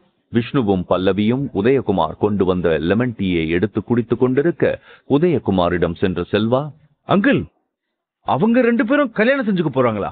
ஆ அப்படிதான் சொன்னாங்க. எனக்கும் அப்படிதான் தோணுது. நான் கேட்டா சரியா பதில் சொல்ல மாட்டேங்கிறாங்க. நீ கேட்டு சொல்ல. ரெண்டு பேரும் என்ன முடிவுல இருக்காங்க நாமளும் பாப்போம். பா ஏன்பா நீங்க வேற? பல்லவி மற்றும் விஷ்ணுவின் நெருக்கத்தை பார்த்த செல்வா கடுப்பானான். வந்த விஷயத்தை கூறிவிட்டு அங்கிருந்து புறப்பட நினைத்தான். அப்பா உங்களை விசாரிச்சாரு அங்கிள். உன் அப்பாக்கு என்ன பத்தி யோசிக்கலாம் நேரம் இருக்கா? என்ன அங்கிள் இப்படி கேக்குறீங்க? அப்பா எப்போ உங்களை பத்தி விசாரிச்சுட்டு தான் இருப்பாரு? உன் அப்பா கூட பேசி ரொம்ப நாள் ஆச்சு செல்வா. அவன் கூட உட்காந்து பேசணும்னு தோணுது. இப்பவும் வேலை வேலைன்னு பிஸியா தான் இருக்கானா? அவர் எப்பவுமே அப்படிதான் அங்கிள் ஆனா உங்களை பார்க்கணும்னா அவர் எந்த வேலையா இருந்தாலும் விட்டுட்டு வந்துடுவாரு. ஓகே அங்கிள் நான் அப்பா கிட்ட சொல்றேன். அப்பா பிசினஸ் வேலையா வெளிநாடு போயிருக்காரு. அவரு வந்த உடனே நான் சொல்றேன். ஓகேப்பா ஓகே அங்கிள் என்னோட மருந்து உங்களுக்கு உதவியா இருக்கும். உங்களோட ட்ரீட்மெண்ட்டுக்கு கண்டிப்பா ஹெல்ப் பண்ணணும்னு நம்புறேன். செல்வா இதை கூறும்போது விஷ்ணுவை முறைத்து பார்த்து கொண்டே இருந்தான். விஷ்ணு பல்லவியை தான் கல்யாணம் செய்து கொள்ளப் போகிறான் என்று சொல்லி இருந்ததால் அவன் மேல் உள்ள வெறுப்பை கண்களிலேயே காட்டினான். ஆனால் செல்வா உதயகுமாருக்கு மருந்து கொண்டு வந்திருக்கிறான் என்ற வார்த்தைகளை கேட்டதும் விஷ்ணு அங்கு சென்று நின்றான். செல்வா கொண்டு வந்திருந்த மாத்திரைகளை காட்டினான். இது எல்லாமே நூறு வருடங்கள் பழமையான மூலிகைகள் மூலம் உருவான மாத்திரைகள் அங்கிள். விஷ்ணு அந்த மாத்திரைகளை உற்று பார்த்தான். வாய்ப்பில்ல. என்ன சொன்ன? இதெல்லாம் நூறு வருஷ பழமையான மூலிகைகளால உருவான மாத்திரை இல்லைன்னு சொன்னேன் நான் என் அங்கிள் கிட்ட போய் சொல்றேன்னு நினைக்கிறியா? அது தெரியல. ஆனா நான் சொல்றது உண்மை. முட்டாள்தனம். இது எல்லாம் பல கோடி காசு கொடுத்து நான் வாங்கின பொருட்கள். விஷ்ணு பல்லவி கொடுத்த மாத்திரைகளுடன் அவன் துறவிகள் மடத்திலிருந்து வாங்கி வந்த மூலிகைகளை சேர்த்து உருவாக்கிய கருப்பு மாத்திரை ஒன்றை எடுத்து உதயகுமாரிடம் கொடுக்க அதே நேரத்தில் செல்வாவும் அவன் கொண்டு வந்த மாத்திரையை நீட்டினான். அது சிவப்பு மாத்திரை. அங்கிள் அந்த கருப்பு மாத்திரையை தயவு செஞ்சு எடுத்துக்காதீங்க. உதயகுமார் விஷ்ணு மேல் நிறைய நம்பிக்கை இருந்ததால் அவனின் மாத்திரையை வாங்கி போட்டுக் கொண்டார். என்ன மாத்திரை அது? அது எனக்கு உடனடியா தெரிஞ்சுக்கணும். இதுல என் அங்கிள் வாழ்க்கை இருக்கு. நீ முதல்ல சொல்லு நூறு வருஷம் பழமையான மூலிகைகள் கொண்டு உருவான மாத்திரை உனக்கு எங்க கிடைச்சது? என்னோட மெடிக்கல் டீலர் அவருக்கு தெரிஞ்ச ஃபார்மசில வாங்கினது. அதை கேட்டதும் விஷ்ணு சிரித்தான். பழங்கால மூலிகைகள் இப்போது துறவிகள் மடத்தில் மட்டுமே கிடைக்கக்கூடிய ஒன்று. அது தெரியாமல் செல்வாவை யாரோ பணத்திற்காக ஏமாற்றி இருக்கிறார்கள். நூறு வருஷ பழமையான மூலிகைகள் எல்லாம் துறவிகள் மடத்துல தான் கிடைக்கும். அது உனக்கு தெரியுமா? உன்னை யாரோ நல்லா ஏமாத்தி இருக்கிறாங்க என்னது? இதுலயே தெரியுது உனக்கு தெரியாதுன்னு. செல்வா ஏமாந்து போனதை நினைத்து விஷ்ணு சிரிக்க அங்கு பல்லவி வாத்தியார் மற்றும் உதயகுமாரும் சிரித்தார்கள். செல்வாவிற்கு மிகவும் அசிங்கமாக போய்விட்டது. ஓகே அவனுங்க என்னை ஏமாத்திருந்தா அந்த காசை அவங்க கிட்ட இருந்து எப்படி வாங்கணும்னு எனக்கு தெரியும். ஆனா ஜெயில இருந்து வந்த மனுஷன் கிட்ட உஷாரா இருங்க அங்கிள். அதை அவன் வேண்டுமென்றே விஷ்ணுவை அவமானம் செய்ய கூறினான். அது விஷ்ணுவை கோபப்படுத்தினாலும் இவனைப் போல் பலரும் அவனிடம் அப்படி பேசி அடி வாங்கி இருந்ததால் செல்வாவை பார்த்து அவனுக்கு சிரிப்புதான் வந்தது. ஜெயில் உள்ள போனவங்களும் சரி வெளியே வந்தவனும் சரி மனதளவுல கெட்டவனா தான் இருப்பான். செல்வா பேசுவதை கேட்டு பொறுத்து கொள்ள முடியாத பல்லவி முன் வந்து செல்வாவை எதிர்த்து பேசினாள். எந்த அர்த்தத்துல பேசிட்டு இருக்க நீ? எனக்கும் என் அப்பாவுக்கும் விஷ்ணுவை பத்தி தெரியும். நீ எங்களுக்கு பாடம் நடத்த தேவையில்ல. கோபமான செல்வா பல்லவி கையை இறுக்கமாக பிடித்தான். அதிலேயே அவன் மேல் இருந்த கோபத்தில் அவளுக்கு வலிக்கும் அளவுக்கு செல்வா அழுத்தினான். என்னை விட இந்த ஜெயில் கைதி உனக்கு பெருசா போயிட்டனா? சொல்லு. நீ பிடிச்சது வலிக்குது செல்வா. கையெடு. தன் மகளை இப்படி செய்ததை பார்த்து கோபத்தில் எழுந்த உதயகுமார் கையெடு செல்வா. நீ என்ன செய்யறன்னு தெரிஞ்சுதான் செய்யறியா பல்லவியின் கை பிடித்ததை பார்த்து கோபத்தில் செல்வா கையை பிடித்தான் விஷ்ணு. செல்வா பல்லவி மேலிருந்து கையை எடுத்தான். விஷ்ணு பிடித்த பிடியில் அவன் கை வலிக்கத் தொடங்கியது. உன்கிட்ட ஆல்ரெடி சொல்லிட்டேன். அவன் நான் கல்யாணம் செஞ்சுக்க போற பொண்ணுன்னு சொல்லியும் கேட்கலன்னா மறுபடியும் அப்படி செய்ய முடியாத அளவுக்கு செஞ்சு விட்டுறணும். பல்லவி விஷ்ணு பின் சென்று நின்று கொண்டாள். செல்வாவுக்கு விஷ்ணு பிடித்த பிடியில் கை வலியில் கண்கள் சிவந்து போனது. கையை விட்டான். மேல் கொண்டு விஷ்ணுவை அடிக்க கை ஓங்கி வர அதிலிருந்து விலகிக் கொண்ட விஷ்ணு லேசாக அவனை அடிக்க மயங்கி கீழே விழுந்தான் செல்வா. அதை பார்த்து உதயகுமார் பல்லவி அதிர்ந்து போனார்கள். விஷ்ணு நீ இவன் மேல கை வச்சிருக்க கூடாது. ஆமா விஷ்ணு இவன் நம்ம சிட்டில பெரிய பிக் ஷாட்டோட பையன். இந்த விஷயத்தை நான் விக்ரமன் கிட்ட சொல்லணும். அப்பா விக்ரமன் அங்கிள் கூட பதவியில இருந்து விலகிட்டாரு. அதனால செல்வா அப்பா கிட்ட பேச முடியுமான்னு சந்தேகம்தான். செல்வா முகத்தில் தண்ணீர் தெளித்து எழுப்ப கோபத்தில் அவன் காரை நோக்கி நடந்த செல்வா உன்னை சும்மா விட மாட்டேன். என் மேல கை வச்சிட்டல? பாரு நான் யாருன்னு உனக்கு காட்டுறேன். டேய் என்ன அடிக்க வந்தது நீ? அதான் திருப்பி கொடுத்தேன். நீ யாருன்னு எனக்கு காட்டுறது இருக்கட்டும். முதல்ல உன் உடம்ப நல்ல டாக்டர் கிட்ட போய் காட்டு. ரொம்ப வீக்கா இருக்கடா. செல்வா கடுப்பாக அவன் காரில் ஏறி விரைய அவன் மூலம் என்னென்ன பிரச்சனைகள் வரப்போகுதோ என்று உதயகுமார் பல்லவி பயத்தில் இருந்தார்கள். விஷ்ணு இதை எப்படி சமாளிக்கப் போகிறான் என்ற பயம் அனைவருக்கும் இருக்க விஷ்ணு சாதாரணமாக நின்று எல்லாவற்றையும் போல அதையும் எதிர்கொள்ள தயாரானான். Episode thirty eight. இந்த நகரத்தின் மேயர் ரத்தினம் பெரும் பணபலமும் படைபலமும் உள்ள ஒரு மனிதர். அவருடைய பையன் செல்வாவைத்தான் விஷ்ணு அடித்திருந்தான். அதை நினைத்து உதயகுமார் மற்றும் பல்லவி பயந்து கொண்டிருந்தார்கள். நீ அவனை அடிச்சிருக்க கூடாது விஷ்ணு. அவங்க இந்த ஊர்லயே பெரிய ஆளு. உன்னை யாராவது காயப்படுத்தினா பெரிய ஆளுன்னு பார்த்துக்கிட்டு இருக்க முடியாது பல்லவி. நான் அவன் யாரா இருந்தாலும் அடிப்பேன். விஷ்ணு தன்மேல் வைத்திருந்த காதலை நினைத்து ஒரு பக்கம் சந்தோஷம் இருந்தாலும் இப்போது நடந்த சம்பவத்தால் அடுத்து எதிர்காலத்தில் என்னென்ன பிரச்சனைகள் வரப்போகிறதோ என்று பல்லவி யோசித்துக் கொண்டிருந்தாள். விஷ்ணு நம்ம விக்ரமனை போய் பார்க்கணும். இதுக்கு வேற ஏதாச்சும் தீர்வு இருக்கான்னு கேட்டு பார்க்கலாம். அங்கிருந்து விக்ரமன் வீட்டிற்கு விரைந்து சென்று விக்ரமனிடம் நடந்ததை பற்றி கூறினார்கள். ரத்தனத்தோட பையன் ரொம்ப எல்ல மீறிட்டான். நான் ரியாக்ட் பண்றதுக்குள்ள விஷ்ணு அவனை அடிச்சிட்டான். பெரிய தப்பாகிடும் விஷ்ணு. வேற ஏதாச்சும் வழி இருக்கான்னு நாம கொஞ்சம் யோசிச்சு பார்க்கணும். விஷ்ணு அங்கிருந்த அனைவருக்கும் முக்கியமான ஒரு ஆள் என்பதால் எல்லோரும் விஷ்ணுவின் எதிர்காலத்திற்காக இந்த பிரச்சனையை எப்படி சமாளிப்பது என்று யோசித்தார்கள்.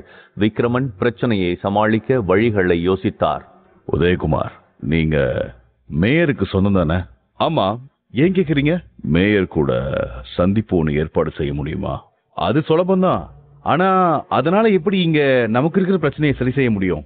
மேயர் ரத்தினம் ரொம்ப பலமுள்ள ஆளுதான். அதே நேரத்துல கொஞ்சம் நல்ல மனுஷனும் கூட விஷ்ணு அவனை நேர்ல சந்திச்சு மன்னிப்பு கேட்டா எல்லாம் முடிஞ்சிடும் சரியா சொன்னீங்க. ஆனால் விஷ்ணுவுக்கு இதில் உடன்பாடு இல்லை. தான் தப்பு ஏதும் செய்யவில்லை. அதுக்காக மன்னிப்பு ஏன் கேட்கணும் என்று விஷ்ணு அதற்கு ஏற்றுக்கொண்டிருக்க மாட்டான். என்றாலும் அவனுக்காக உடம்புக்கு முடியாத உதயகுமார் இந்த பிரச்சனையில் உதவ நினைக்கவே விஷ்ணு ஒத்துக்கொண்டான். வெளிநாடு சென்று இருந்த மேயர் ரத்தினம் ஊர் திரும்பியதும் உடனே கிளம்பி அவரது வீட்டிற்கு சென்றார்கள். இருநூறு ஏக்கர் வீடு எங்கும் துப்பாக்கி சுமந்து நிற்கும் பாதுகாவலர்கள். உள்ளே சென்று மேயர் அறைக்கு வெளியே நிற்க அங்கு பிஏ வந்து சார் நீங்க எதுக்காக வந்திருக்கீங்க? நான் உதயகுமார். ஏற்கனவே மேயரை சந்திக்க நாங்க புக் பண்ணிட்டோம். அவன் ஒரு நோட் எடுத்து செக் செய்ய அதில் உதயகுமார் பெயரை பார்த்த அவன் ஓகே சார் மேயர் இப்போ சைனா பிசினஸ் ஆட்கள் கூட பேசிட்டு இருக்கிறாரு. நீங்க வெயிட் பண்ணுங்க. அவங்க வெளியே வந்த உடனே நீங்க போய் பேசலாம். மேயர் அறைக்கு வெளியே பல்லவி உதயகுமார் மற்றும் விஷ்ணு உட்கார்ந்திருந்தார்கள். விஷ்ணு முதன் முதலில் மேயரை பார்க்க அந்த இடத்திற்கு வந்திருக்க ஒவ்வொன்றையும் தெளிவாக கவனித்துக் கொண்டிருந்தான். மேயர் தான் இங்க எல்லா முடிவுகளையும் எடுக்க முடியும். என்னதான் கேங்ஸ்டர்ஸ் அரசியல்வாதிகள்னு இருந்தாலும் எல்லாத்துக்கும் மேல இங்க நம்ம மேயர் தான். மேயர் அறையிலிருந்து ரத்தினம் வெளியே வர அவருடன் இரண்டு சீனாக்காரர்கள் வெளியே வந்தார்கள். ஒரு மொட்டை தலையனும் ஒரு ஒல்லியானவனும் இருக்க அதே நேரத்தில் யாழி டாலர் ஜொலித்தது. ஏதோ கெட்ட சக்தி தனக்கு அருகில் இருப்பதாக உணர்ந்தான். சுற்றுமுற்றும் பார்க்க ஒரு கணத்தில் அந்த மொட்டை சீனாக்காரன் விஷ்ணுவை பார்த்து திரும்பினான். உங்க டீலை சைன் பண்ண எனக்கு சம்மதம். நீங்க பேப்பர் ரெடி பண்ணுங்க. மத்ததெல்லாம் நான் பாத்துக்கிறேன். ரத்தினம் இதை கூறி சீனாக்காரர்களை கட்டிப்பிடித்து அங்கிருந்து வழி அனுப்பி வைத்தார். பின் உதயகுமார் பக்கம் திரும்ப உதயகுமார் மேயரின் சிறு வயது நண்பன் சொந்தமும் கூட. அதனால் உதயகுமாரை பார்த்து சந்தோஷமாக நண்பா உதயகுமார் எப்படி இருக்க? பார்த்து எவ்வளவு நாளாச்சு? நல்லா இருக்கேன் நண்பா. நீ நம்ம நகரத்தை பத்திரமா பாத்துக்கிற போது நாங்க நல்லா தானே இருப்போம் நண்பா?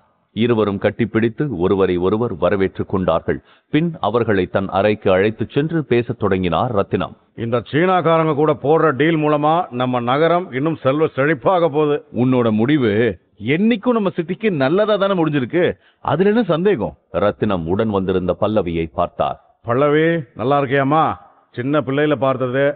இப்ப பெரிய பொண்ணாகிட்ட? நல்லா இருக்கு அங்கிள். அப்புறம் என்ன விஷயமா இங்க வந்தீங்க? ஒரு சின்ன குழப்பம் நடந்து போச்சு. அதுக்காக நீ எங்களை மன்னிக்கணும். என்ன பிரச்சனை? நேத்து உன்னோட பையன் செல்வா நம்ம வீட்டுக்கு வந்திருந்தான் அங்க சின்ன பிரச்சனை ஆயிருச்சு இவரு என்னோட மாப்பிள்ளை விஷ்ணு. வாங்க தம்பி. விஷ்ணு உன் பையனை அடிச்சிட்டாரு. அதான் உன்னை பார்த்து நேர்ல மன்னிப்பு கேட்டுட்டு போலாம்னு மன்னிப்பு கேளுங்க விஷ்ணு. அதுக்கு முன்னாடி சார் உங்க பையன் பல்லவி கிட்ட முரட்டுத்தனமா நடந்துகிட்டான். அதுக்காகத்தான் அவனை நான் அடிச்சேன். அதுவும் முதல்ல அடிக்க வந்தது அவன்தான். சின்ன பசங்க மேட்டர் அப்புறம் அவன் என்னோட கார்ல தான் அங்க வந்திருந்தானா? ஆமா மேயர் இருக்கைக்கு அருகில் இருந்த அழைப்பு மணியை அழுத்த வெளியே இருந்து பிஏ வந்தான். சார். செல்வா என்னோட காரை எடுத்து தான் சுத்திட்டு இருக்கானா? ஆமா சார். அந்த ஒண்ணுத்துக்கும் உதவாத நாய் இப்ப எங்க இருக்கான்? ஹாஸ்பிட்டல்ல. உடனே அவனை கூட்டிட்டு வாங்க. மேயர் நல்ல மனிதர் என்று சொல்வது உண்மைதான். ரொம்பவே நல்ல மனிதர் அநியாயத்துக்கு நல்ல மனுஷனா இருக்கிறாரு என்றெல்லாம் விஷ்ணு யோசித்துக் கொண்டும் அவரிடம் பேசிக்கொண்டும் செல்ல செல்வாவை ஒருவன் காரில் அழைத்து வர செல்வா காரிலிருந்து வெளியேறியதும் அங்கு விஷ்ணு பல்லவி உதயகுமாரை பார்த்து கோபத்துடன் உள்ளே வந்தான். அப்பா இவனை அடிச்சிருக்கான் இவனை உள்ள கூட்டி உட்கார வச்சு பேசிட்டு இருக்கீங்க. உங்களுடைய கண்ணை கொடுங்கப்பா இவனை இங்கே ஷூட் பண்றேன். அதை கேட்டதும் காலில் இருந்த செருப்பை கழட்டி அவனை அடித்து அந்த செருப்பு கீழே விழ அதைத் தொடர்ந்து அங்கிருந்த ஸ்டூல் ஒன்றை எடுத்து அடிக்க கை ஓங்கிய ரத்தினம் அங்கேயே மயங்கி விழுந்தார். அனைவரும் அவரை சுற்றி நின்று அவரை ஹாஸ்பிட்டல் அழைத்துச் செல்வதை பற்றி பேச உதயகுமார் கூடவே விஷ்ணு இருந்ததால் வழிவிடுங்க. விஷ்ணுக்கு ட்ரீட்மெண்ட் பார்க்க தெரியும். விஷ்ணு சென்று அவருக்கு என்ன ஆனது என்று பார்த்தான். அந்த மொட்டை சீனாக்காரன் கெட்ட சக்தி எதையோ மேயர் மேல் ஏவி விட்டிருக்கிறான் என்பதை கண்டுபிடித்ததுடன் அதை யாரிடமும் அவன் கூறாமல் அப்போது அவரை காப்பாற்ற செய்ய வேண்டியதை செய்து கண் விழிக்கச் செய்தான். எனக்கு என்ன ஆச்சு? ரத்தினம் நீ மயங்கி விழுந்துட்ட. விஷ்ணு தான் உன்னை காப்பாத்துனா. நன்றி விஷ்ணு. ரொம்ப நல்ல பையனாவும் திறமசாலையாவும் இருக்கிய. வாங்க சாப்பிட்டுட்டே பேசலாம். இரவு சாப்பாட்டை எல்லோரும் ஒன்றாக சாப்பிட விஷ்ணு அந்த விஷயத்தை அவரிடம் கூறலாம் என்று யோசித்தான். மேயர் சார் உங்ககிட்ட ஒன்னு சொல்லணும். சொல்லு தம்பி. அந்த சீனாக்காரன் உங்க மேல ஏதோ சூனியம் வச்சிருக்கிறான். என்ன தம்பி நீங்க எந்த நூற்றாண்டுல வாழ்றீங்க? இதெல்லாம் நம்புறீங்களா? ரத்னம் விஷ்ணு சொல்றதுல எப்பவுமே உண்மை இருக்கும். நண்பா கெட்ட சக்தி சூனியம் இது எதுவுமே உண்மை இல்ல. சும்மா கட்டுக்கதை. அந்த தம்பி ஏதோ விவரம் தெரியாம பேசுதுன்னா நீமா அங்கிருந்து இரவு உணவை முடித்துவிட்டு விஷ்ணு உதயகுமார் மற்றும் பல்லவி அங்கிருந்து கிளம்ப காரில் ஏறி அமர்ந்தார்கள். விஷ்ணு நீ உள்ள சொன்ன அந்த சூனியம் உண்மையா? ஆமா சார். அப்படின்னா அவனுக்கு உதவ நீ ஏதாச்சும் செஞ்சாகணும். ஏன்னா இவனை மாதிரி ஒரு நல்ல மனுஷன் மேயரா கிடைக்கிறது கஷ்டம். அதையேதான் விஷ்ணு யோசித்துக் கொண்டிருக்க பாதியிலேயே காரில் இருந்து இறங்கினான் விஷ்ணு.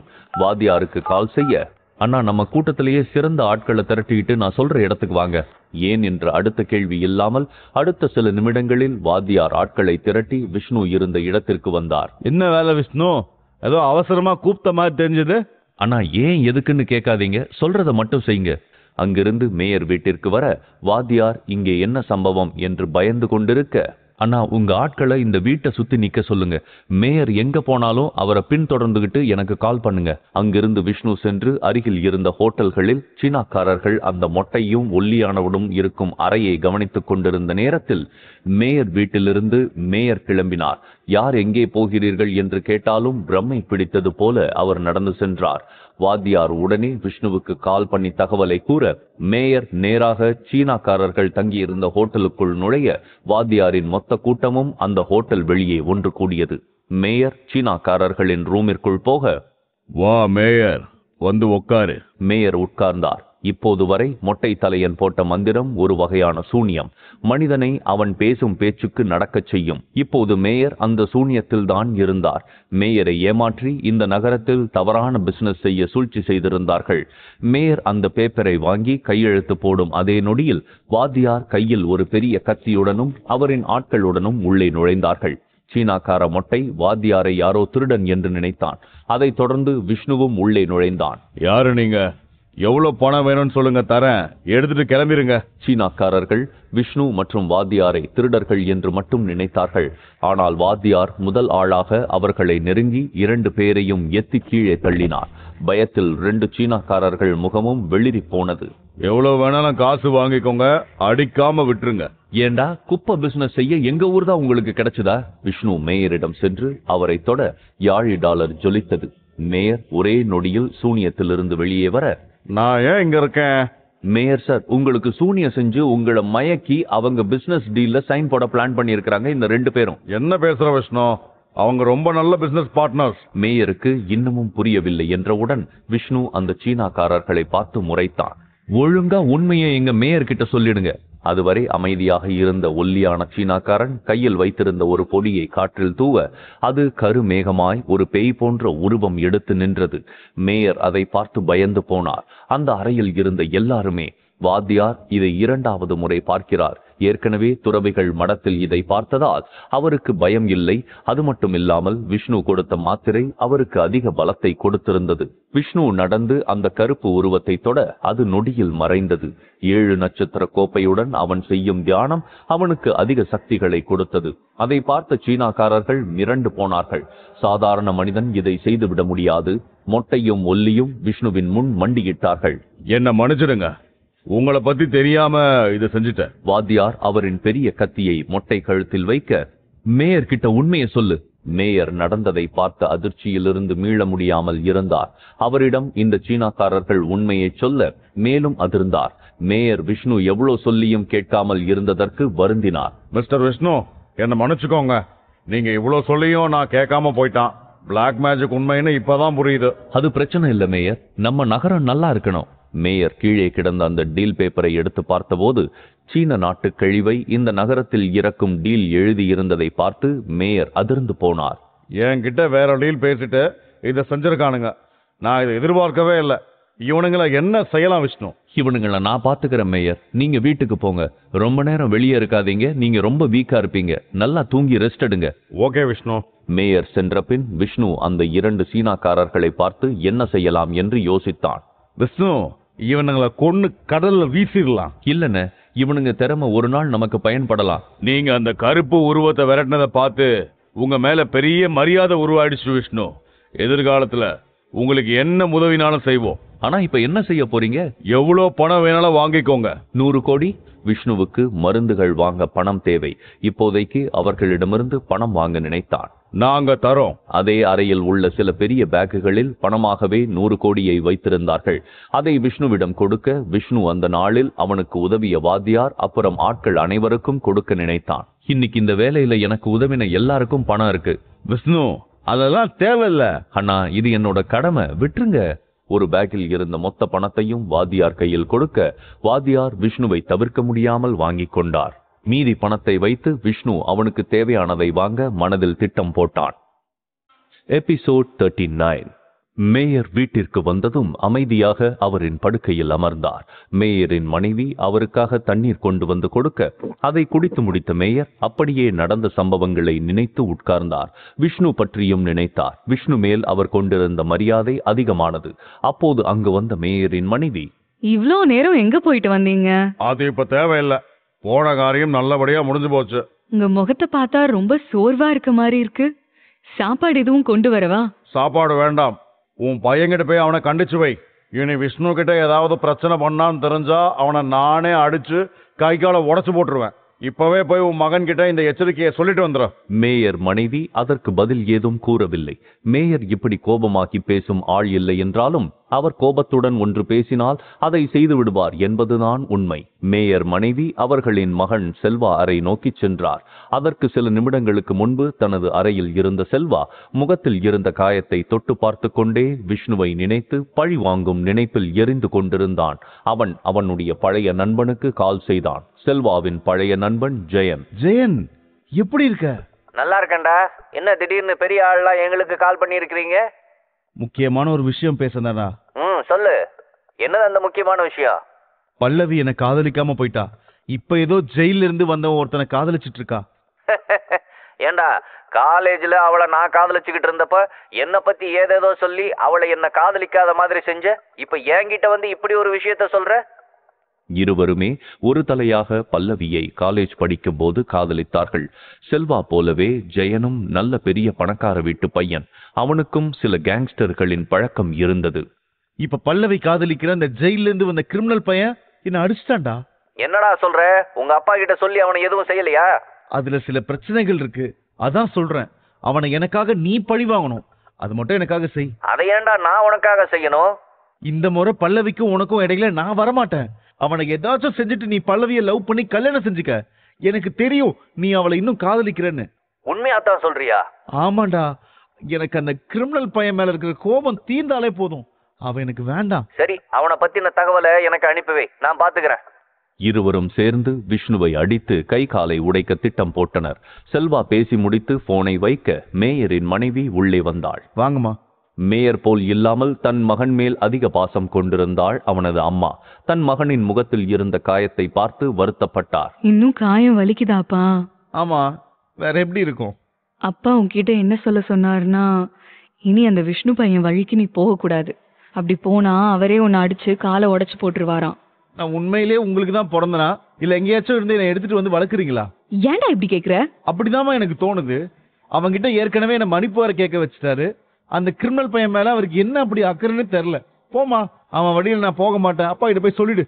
செல்வா இதை சொல்லிவிட வருத்தத்துடனே மேயரின் மனைவி அங்கிருந்து விரைந்து சென்றாள். அதே நேரத்தில் விஷ்ணு அந்த சீனாக்காரர்களிடமிருந்து வாங்கிய பணத்தை வாத்தியாரிடம் கொடுத்து அவனுக்கு வாங்க வேண்டிய மருந்து லிஸ்டையும் எழுதி கொடுத்திருந்தான். அவன் வீட்டிற்கு வந்ததும் தியான நிலைக்கு சென்று மாயன் தாத்தாவை பார்க்க நினைத்தான். இப்போது அவன் உடம்பில் இருந்த பலம் அதிகமாகி இருந்ததால் தியான நிலையில் உட்கார்ந்ததும் ஆழ்ந்த தியானத்தில் மூழ்கினான். ஒரு அழகிய இயற்கை சூழ்ந்த இடத்தில் மரத்தின் அடியில் உட்கார்ந்திருந்த மாயன் தாத்தாவிடம் சென்றான் விஷ்ணு அவரும் தியான நிலையில் உட்கார்ந்திருக்க தாத்தா மாயன் தாத்தா கண்களை திறந்து தியான நிலையில் இருந்து வெளியே வந்தார். வா விஷ்ணு உனக்காகத்தான் காத்துக்கிட்டு இருந்தேன்.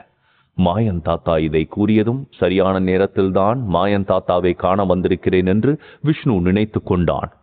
உன் உடல் பலம் அதிகரிச்சிருக்கிறத என்னால உணர முடியுது விஷ்ணு. ஆமா தாத்தா ஏழு நட்சத்திர கோப்பை எனக்கு கிடைச்சிருக்கு. ரொம்ப நல்லது விஷ்ணு. அந்த பொருள் ரொம்ப பழங்காலத்தை சேர்ந்தது. அது மூலம் உனக்கு நிறைய பலன் கிடைக்கும். இப்பவே நிறைய பலன் கிடைச்சிருக்கு தாத்தா. இன்னும் அதிகமா உனக்கு கிடைக்கும். மாயன் தாத்தா கூறியதை கேட்ட விஷ்ணு தான் சரியான பாதையில் தான் சென்று இருக்கிறோம் என்பதை உணர்ந்தான். ஓ உடம்புல ஓடுறது. சாதாரண மனிதர்களோட ரத்தம் இல்லை விஷ்ணு. உனக்கு பொறுப்புகள் அதிகம். அதனாலேயே ஒவ்வொரு முறையும் உன் பலம் அதிகரிக்கும் போது உன் பொறுப்புகளையும் நீ உணரணும். எப்பவும் நீங்க இதான் சொல்றீங்க. என் உடம்புல ஓடுறது சாதாரண மனிதர்களோட ரத்தம் இல்லைன்னு? ஆனா என் அப்பா அம்மா சாதாரண மனிதர்கள் தானே தாத்தா? ஒரு நாள் எல்லா உண்மைகளும் வெளிவரும். அப்படி உண்மைகள் உனக்கு தெரியும் போது நீ உடைஞ்சு போயிடக்கூடாது. அதை மட்டும் மனசுல வச்சுக்க. இதை சொல்லி முடித்ததுடன் மீண்டும் கண்களை மூடிய மாயன் தாத்தா தனது தியான நிலைக்கே சென்றார். விஷ்ணு அந்த இடத்தை விட்டு வெளியே வந்தான். எல்லா உண்மைகளும் தெரிய வருமா? அவர் என்ன சொல்ல வராரு? மாயன் தாத்தா கூறிய வார்த்தைகளை மனதில் யோசித்து பார்த்து கொண்டிருந்தான் விஷ்ணு. உண்மைகள் தெரிய வரும்போது அது எவ்வளவு கஷ்டமாக இருந்தாலும் மனம் உடைந்து போகாமல் பொறுப்புகளை ஏற்று வாழ்வின் முன் நகர வேண்டும் என்று முடிவு செய்தான் விஷ்ணு. பின் இரவு தூங்கிவிட காலையில் கண் திறக்க அவன் வில்லாவின் வெளியே வாத்தியார். விஷ்ணு கேட்ட எல்லா மருந்துகளையும் வாங்கி அனுப்பி வைத்திருந்தார். விஷ்ணு நேரம் தாமதிக்காமல் உடனே அதில் சில மாத்திரைகளையும் அவன் துறவிகள் மடத்திலிருந்து வாங்கி வந்திருந்த மூலிகைகளை கொண்டு அவன் தனியாக இருபது மாத்திரைகளை உருவாக்கியிருந்தான். அந்த நேரத்தில் சதாசிவமும் பாஞ்சாலியும் வெளியே சென்று இருந்ததால் அதை அவர்கள் திரும்பி வருவதற்குள் வேகமாக செய்து முடித்தான். ஆனால் அவர்கள் திரும்பி வரும்போது கூடவே நிறைய பேர் வரும் சத்தம் விஷ்ணுவுக்கு கேட்டது. விஷ்ணு வெளியே சென்று பார்க்க அவனுடைய அப்பாவின் தம்பி சேகர் அவரின் இரு மகன்கள் ராகுல் வினோத் அங்கு வந்திருந்தார்கள். விஷ்ணுவை பார்த்ததும் சேகர் ஓடி வந்து ஏய் ஆ விஷ்ணு பார்த்து எவ்வளவு நாளாச்சு? எப்படி இருக்கீங்க சித்தப்பா? எனக்கு என்ன ரெண்டு பசங்களும் பெரிய இடத்துல வேலை செய்யறாங்க சந்தோஷமா இருக்கேன். சேகர் வேண்டுமென்றே இதை சொன்னார். அவருக்கு தெரியும் விஷ்ணு ஜெயில் போய் வெளியே வந்த ஒருவன் என்று. நீங்க நல்லா பெரிய வில்லால தான் இருக்கீங்க விஷ்ணு ஆனா இது ஒரு பணக்கார பொண்ணோட வீடாமே. யார் சொன்னாங்க? விஷ்ணு கேட்ட கேள்விக்கு பாஞ்சாலி பதில் அளித்தாள் நான் தாண்டா சொன்னேன். அதான உண்மை விஷ்ணு? விஷ்ணுவுக்கு அந்த வில்லாவை பரிசாக உதயகுமார் தந்ததை அந்த இடத்தில் சொல்ல முடியாமல் விஷ்ணு அமைதியாக இருந்தான். நம்ம பழைய வீடு தான் நமக்கானது. அதை தான் சேகர் கிட்டயே விற்க முடிவு செஞ்சுட்டேன். ரெண்டு பேரும் அதை வித்து பணத்தை பிரிக்க பிளான் செஞ்சிருக்கோம். அதுக்கு தான் வந்திருக்கான். அதுக்காகத்தான் அவர்கள் வந்திருக்க முடியும். ஆரம்பத்தில் சதாசிவம் நல்ல நிலைமையில் இருந்தபோது உடன் இருந்த சொந்தம்தான் இவர்கள். விஷ்ணு ஜெயிலுக்கு சென்றது. சதாசிவத்திற்கு தொழில் நஷ்டமானது. இதெல்லாம் தெரிந்தவுடன் கூட இல்லாமல் போய்விட்டார்கள். இப்போது மறுபடியும் தேவை இருப்பதால் மீண்டும் இங்கு வந்திருக்கிறார்கள். இதெல்லாம் தெரிந்த விஷ்ணுவிற்கு அவர்களை கண்டாலே பிடிக்கவில்லை என்றாலும் அம்மா அப்பாவிற்காக அவர்களிடம் நல்லபடியாக பேசினான். விஷ்ணு நாம உட்கார்ந்து பேச ஏதாவது நல்ல ஹோட்டல் புக் பண்ணு. சாப்பிட்டுட்டே பேசுற மாதிரி. சரிம்மா விஷ்ணு இதை கூறிவிட்டு அங்கிருந்து நகர வேண்டுமென்றே விஷ்ணுவை சோதித்து பார்க்க சேகர் சீண்டினார். காசு இருக்காப்பா விஷ்ணு? என் பசங்க ரெண்டு பேரும் நல்ல பெரிய ஹோட்டலா பார்த்து தான் சாப்பிடுவாங்க. சேகர் அவரையும் அவரின் பிள்ளைகளின் ஸ்டேட்டஸ் குறித்தும் கூறினார். விஷ்ணு அவர்கள் அளவுக்கு ஸ்டேட்டஸில் உயர்ந்தவன் இல்லை என்று வேண்டுமென்றே கூறியதுதான் இது காசு இருக்கு சித்தப்பா நான் பாத்துக்கிறேன் நான் போய் ஹோட்டல் புக் பண்றேன். அப்புறம் நீங்க வாங்க.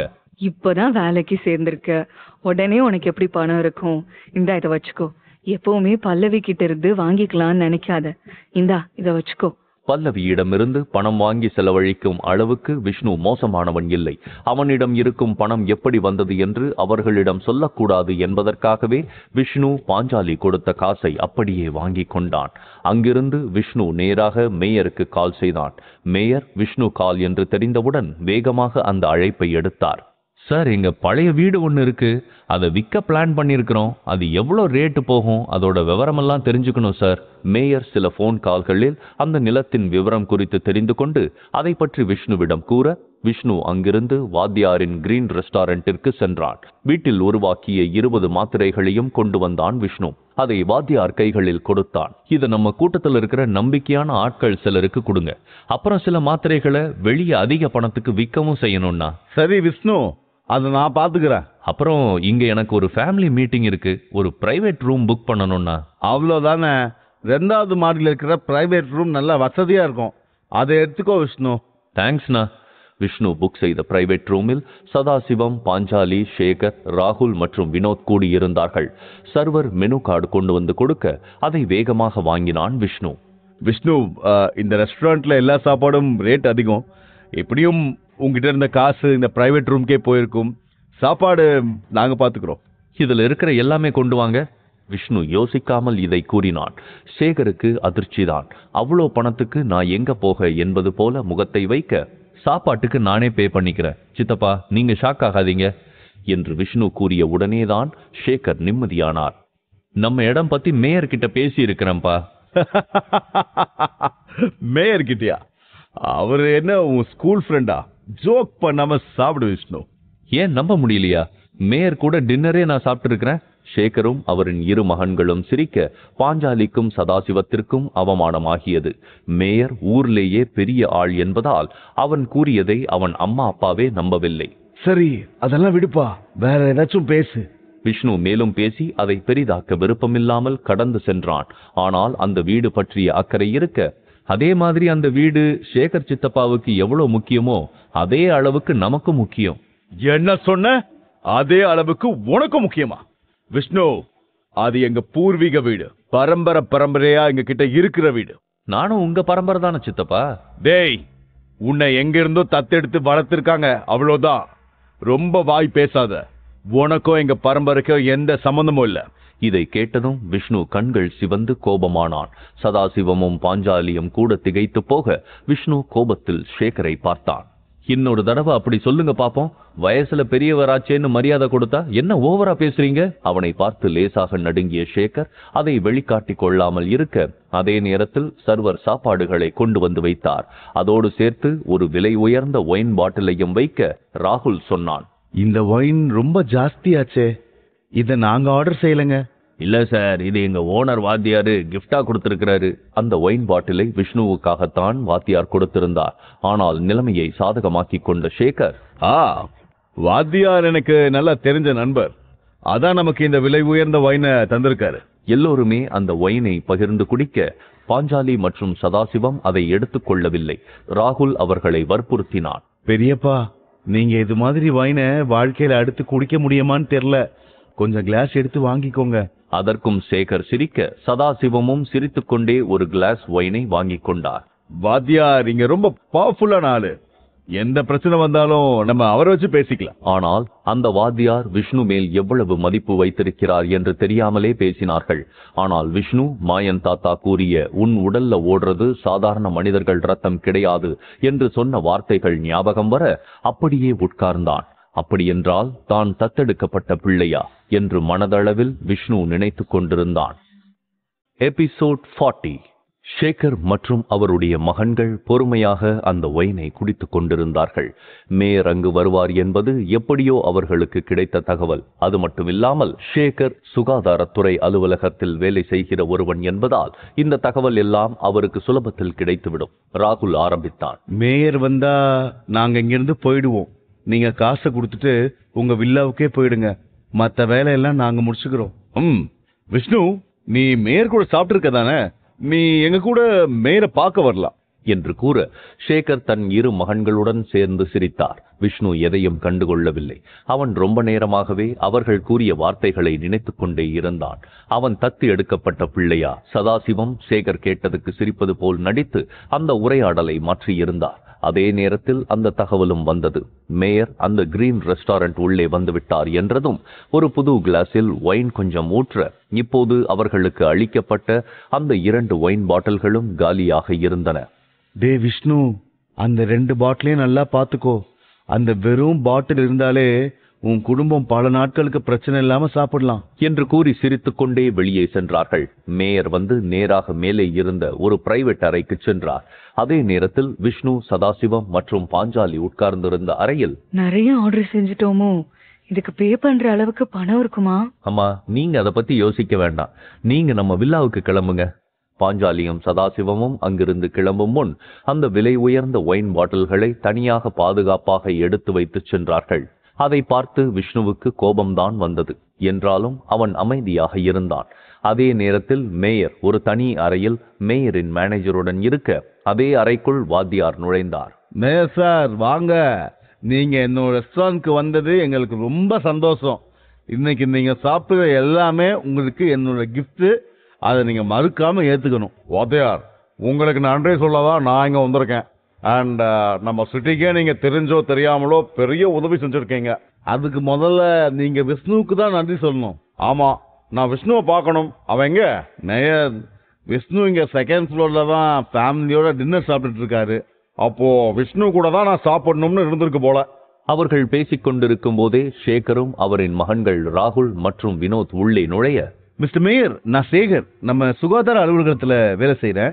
உங்களை பார்க்க பல நாள் முயற்சி செஞ்சு இப்ப இங்க நீங்க வரீங்கன்னு தெரிஞ்சுதான் இங்க வந்தோம். நான் இங்க வரேன்னு என்னுடைய பிஏவுக்கும் மேனேஜருக்கும் மட்டும்தான் தெரியும். அப்போ உங்களுக்கு நான் இங்க வரேன்னு தகவல் யார் தந்தது? மேயர் நகரத்தின் பெரிய பொறுப்பு என்பதால் அவர் வாத்தியாருடன் சந்திக்கும் இந்த சந்திப்பை மீடியா எப்படி வேண்டுமானாலும் மாற்றிவிடும். எனவே கோபத்தில் மேனேஜரை பார்த்து நீ தான் உங்களுக்கு தகவல் கொடுத்தியா? அவரு இல்ல உங்க பிஏ தான். கோப்பட வேணாம் மேயர். நான் என்ன சொல்ல வரேன்னு கேட்டீங்கன்னா அதுக்கப்புறம் கோப்பட மாட்டீங்க. நீ சொல்றத கேட்கவே தேவையில்லை கிளம்பு. சேகர் அவமானப்பட்டு நிற்க அருகில் இருந்த வாத்தியார் அவனை பார்த்து சொல்றது காதுல கேட்கலையா? கிளம்புங்க. சேகர் ராகுல் வினோத் மூவரும் அவமானப்பட்டு கையில் கொண்டு போன கிளாஸுடன் அப்படியே விஷ்ணு இருந்த பிரைவேட் ரூமுக்கு வர அங்கு விஷ்ணு உட்கார்ந்து டீ குடித்துக் கொண்டிருந்தான். அங்கு இப்போது சதாசிவமும் பாஞ்சாலியும் இல்லாததால் விஷ்ணுவை எப்படி வேண்டுமானாலும் பேச அவர்கள் நினைத்துக் கொண்டார்கள். விஷ்ணு இன்னும் நம்ம சாப்பிட்டதுக்கு பே பண்ணலையா? அதைத்தான் யோசிச்சுக்கிட்டு இருந்தேன். எல்லாரும் தானே சாப்பிட்டோம். உங்களுக்கு நீங்க கட்டிக்கோங்க. என் அப்பா அம்மா சாப்பிட்டதுக்கு நான் கட்டிக்கிறேன். நீ தானே சொன்ன காசு நீ தந்துக்கிறன்னு? இப்பவும் நான் தான் சொல்றேன். நீ சாப்பிட்டதுக்கு என்னால தர முடியாதுன்னு. அவர்கள் கையில் இருந்த ஒயின் கிளாஸுகளை கவனித்த விஷ்ணு உடனே அவர்கள் அதை குடிக்கவே இல்லை என்று உறுதி செய்தான். அது மட்டும் இல்லாமல் மேயருக்கு கொண்டு போன ஒயின் அப்படியே இருந்தது. மேயர் கூட குடிக்க போறோம்னு ரொம்ப ஓவரா பேசுனீங்க. அவர் இருந்த ரூம் உள்ள கூட உங்களை விடலையோ? விஷ்ணு இப்போது அவர்களை பார்த்து சிரித்தான் அதை பார்த்து பொறுத்து கொள்ள முடியாத ராகுல் ஜெயில இருந்து வந்த ரவுடி பையன் நீ எங்களை பார்த்து சிரிக்கிறியா? அடுத்த நொடி பலார் என்று ராகுல் காதில் விஷ்ணு அறைந்தான். சேகர் அதை பார்த்து அதிர்ந்து போனார். ஏய் யாரு மேல கை வைக்கிற? நல்லா பாத்துக்க உன் மேலதான் என்று இரண்டாவது முறை அறைய ராகுல் உடலெல்லாம் நடுங்கி போனது. உங்க காசை நீங்க கட்டிடுங்க. அப்பா வாத்தியார் உங்களுக்கு தெரியும் தானே அவர்கிட்ட ஏதாச்சும் பேசி சமாளிங்க. நாம நாளைக்கு வந்து பில் பாத்துக்கலாம் சேகர் சொல்வது பொய் என்று அவரின் பசங்களுக்கே தெரியாது. அந்த நேரத்தில் வாத்தியாரும் மேயரும் உள்ளே வர மேயர் வாங்க. எனக்கு தெரியும். என்கிட்ட நீங்க பேச ஆவலா இருப்பீங்கன்னு. சேகர் கூறியதை மேயர் கவனிக்க கூட இல்லை. அதுவே மீண்டும் அவமானமாக போக அவர் நேராக விஷ்ணுவிடம் சென்றார். மிஸ்டர் விஷ்ணு உங்களை பார்க்க தான் இவ்வளவு தூரம் வந்தேன். மேயர் நீங்க ஒரு தடவை கால் செஞ்சிருந்தா நானே நேரா வந்திருப்பேனே? இல்ல நானா வந்து உங்களை பார்த்து நன்றி சொல்ல நினைச்சேன். அப்புறம் நீங்க நம்ம நகரத்துக்கு பெரிய நல்லது செஞ்சிருக்கீங்க. என்னால முடிஞ்ச சின்ன உதவி அவ்வளவுதான் சார்.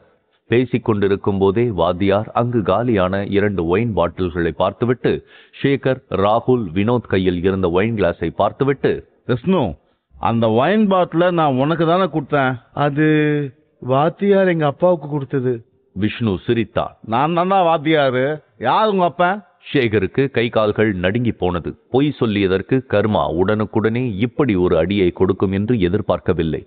சேகரை எத்தி கீழே தள்ளிய வாத்தியார் அவனை அடித்தார். மேயர் மற்றும் விஷ்ணு அவரை தடுக்க அண்ணா அண்ணா அண்ணா விடுங்க அண்ணா விடுங்கண்ணா.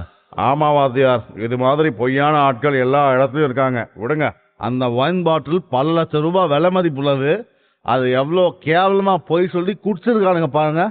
சேகர் குடும்பம் மொத்தமும் விஷ்ணு முன் அவமானப்பட்டு நின்றதோடு மேயர் விஷ்ணுவுக்கு கொடுத்த மரியாதையை கண்டு வாய்மூடி நின்றார்கள். உன்னோட வீட்டு விஷயத்துல இவனுங்களை நம்பிடாத. அதனாலதான் உங்ககிட்ட நான் நேரடியா பேசின மேயர். மேயர் சேகரை நேராக பார்த்து நீ சுகாதாரத்துறையில தானே வேலை செய்யற ஆமா மேயர். சாதாரணமா போய் சொல்ற நீ. ஒரு விஷயத்த உனக்கு சாதகமாக்க என்ன வேணாலும் செய்வேன். ஆ? நாளைக்கே உன்னோட டிஸ்மிஸ் ஆர்டர் வாங்கிக்கோ. மேயர் நீங்களும் விஷ்ணுவும் பேச தனியார் ரெடி செஞ்சாச்சு. நீங்க எந்த தொந்தரவும் இல்லாம அங்க போய் பேசலாம். விஷ்ணுவும் மேயரும் மெதுவாக பேசிக்கொண்டே அந்த அறையை விட்டு வெளியே சென்றார்கள். சேகர் குடும்பத்துடன் அவமானப்பட்டு அங்கு நின்றார். விஷ்ணு குடும்பத்திடம் தான் நன்றாக பேசியிருக்க வேண்டும் என்று தன் தவறை புரிந்து கொண்டாலும் விஷ்ணுவுடன் மேயர் இவ்வளவு நன்றாக பழகுகிறார் என்பதை அவரால் ஏற்றுக்கொள்ள முடியவில்லை. விஷ்ணு கொஞ்ச நேரம் கழித்து அந்த ரெஸ்டாரண்டில் இருந்து கிளம்பும் முன் வெளியே வீட்டிற்கு சென்றதாக கூறிய சதாசிவமும் பாஞ்சாலியும் மீண்டும் அங்கே வர என்னம்மா என்னாச்சு? ஏன் திரும்ப இங்க வந்தீங்க? இல்ல காசை எப்படி நீ தனியா சமாளிச்சு அடைச்சிருப்பேன்னு நினைச்சுதான். அம்மா அதெல்லாம் பிரச்சனை இல்லை. விடுங்க என் கம்பெனில இருந்து அட்வான்ஸ் பணம் வாங்கி பில் பே பண்ணிட்டேன். வாங்க நாம வீட்டுக்கு போலாம். வீட்டிற்கு போகும்போது விஷ்ணு தான் தத்தெடுக்கப்பட்டவன் தான் என்று உறுதியாக நம்பினாலும் அதை தனது தற்போதைய பெற்றோர்கள் சொல்லி கேட்காமல் இருக்க வேண்டும் என்று நினைத்தான். வீட்டிற்கு போனதும் பாஞ்சாலியும் சதாசிவமும் அவனையே கவனித்துக் கொண்டிருக்க அவர்களை சமாதானப்படுத்த அம்மா எனக்கு டயர்டா இருக்கு. நான் கொஞ்ச நேரம் போய் தூங்குறேன். இதை சொல்லிவிட்டு விஷ்ணு அவனுடைய அறைக்கு சென்றான். தியான நிலையில் உட்கார்ந்தான். அந்த நேரத்தில் மாயன் தாத்தாவின் ஆலோசனை தனக்கு தேவை என்று விஷ்ணு யோசித்தான். தியான நிலையில் உட்கார்ந்து கண்களை மூட அந்த இயற்கை சூழ்ந்த இடத்திற்கு சென்றான். மரத்துக்கு அடியில் இருந்த மாயன் தாத்தாவிடம் சென்றான். தாத்தா விஷ்ணு இன்னைக்கு உனக்கு நாள் கொஞ்சம் கஷ்டமா தான் இருந்திருக்கும். அது எப்படி உங்களுக்கு தெரியும்? உன்னோட எதிர்காலமே எனக்கு தெரியும். ஆனா அது எப்படி ஏன்னு கேட்காத. அது சில சமயம் எனக்கு கிடைச்ச வரமாகவும் பல சமயம் எனக்கு கிடைச்ச சாபமாகவும் நான் உணர்ந்திருக்கிறேன். சரி நீ சொல்லு எதுக்காக என்ன தேடி வந்த? இன்னைக்கு ஒருத்தன் என் அப்பா அம்மா முன்னாடி நான் அவங்களுக்கு பிறந்தவன் இல்லைன்னு சொல்லிட்டான். அப்புறம்? அது அது உண்மையா இருக்காது நான் நம்புறேன். உன் அப்பா அம்மா எதுவும் சொல்லலையா? இல்ல எதுவும் சொல்லல. அவங்களே உண்மைய சொல்லுவாங்க. என்ன தாத்தா சொல்றீங்க? அவங்க என்ன பெத்தவங்க இல்லையா? அப்ப என்னோட உண்மையான அப்பா அம்மா யாரு? காலத்தை நம்ப விஷ்ணு. நீ கேட்ட கேள்விக்கு உண்டான பதிலும் கிடைக்கும். கொஞ்சம் பொறுமையா இரு.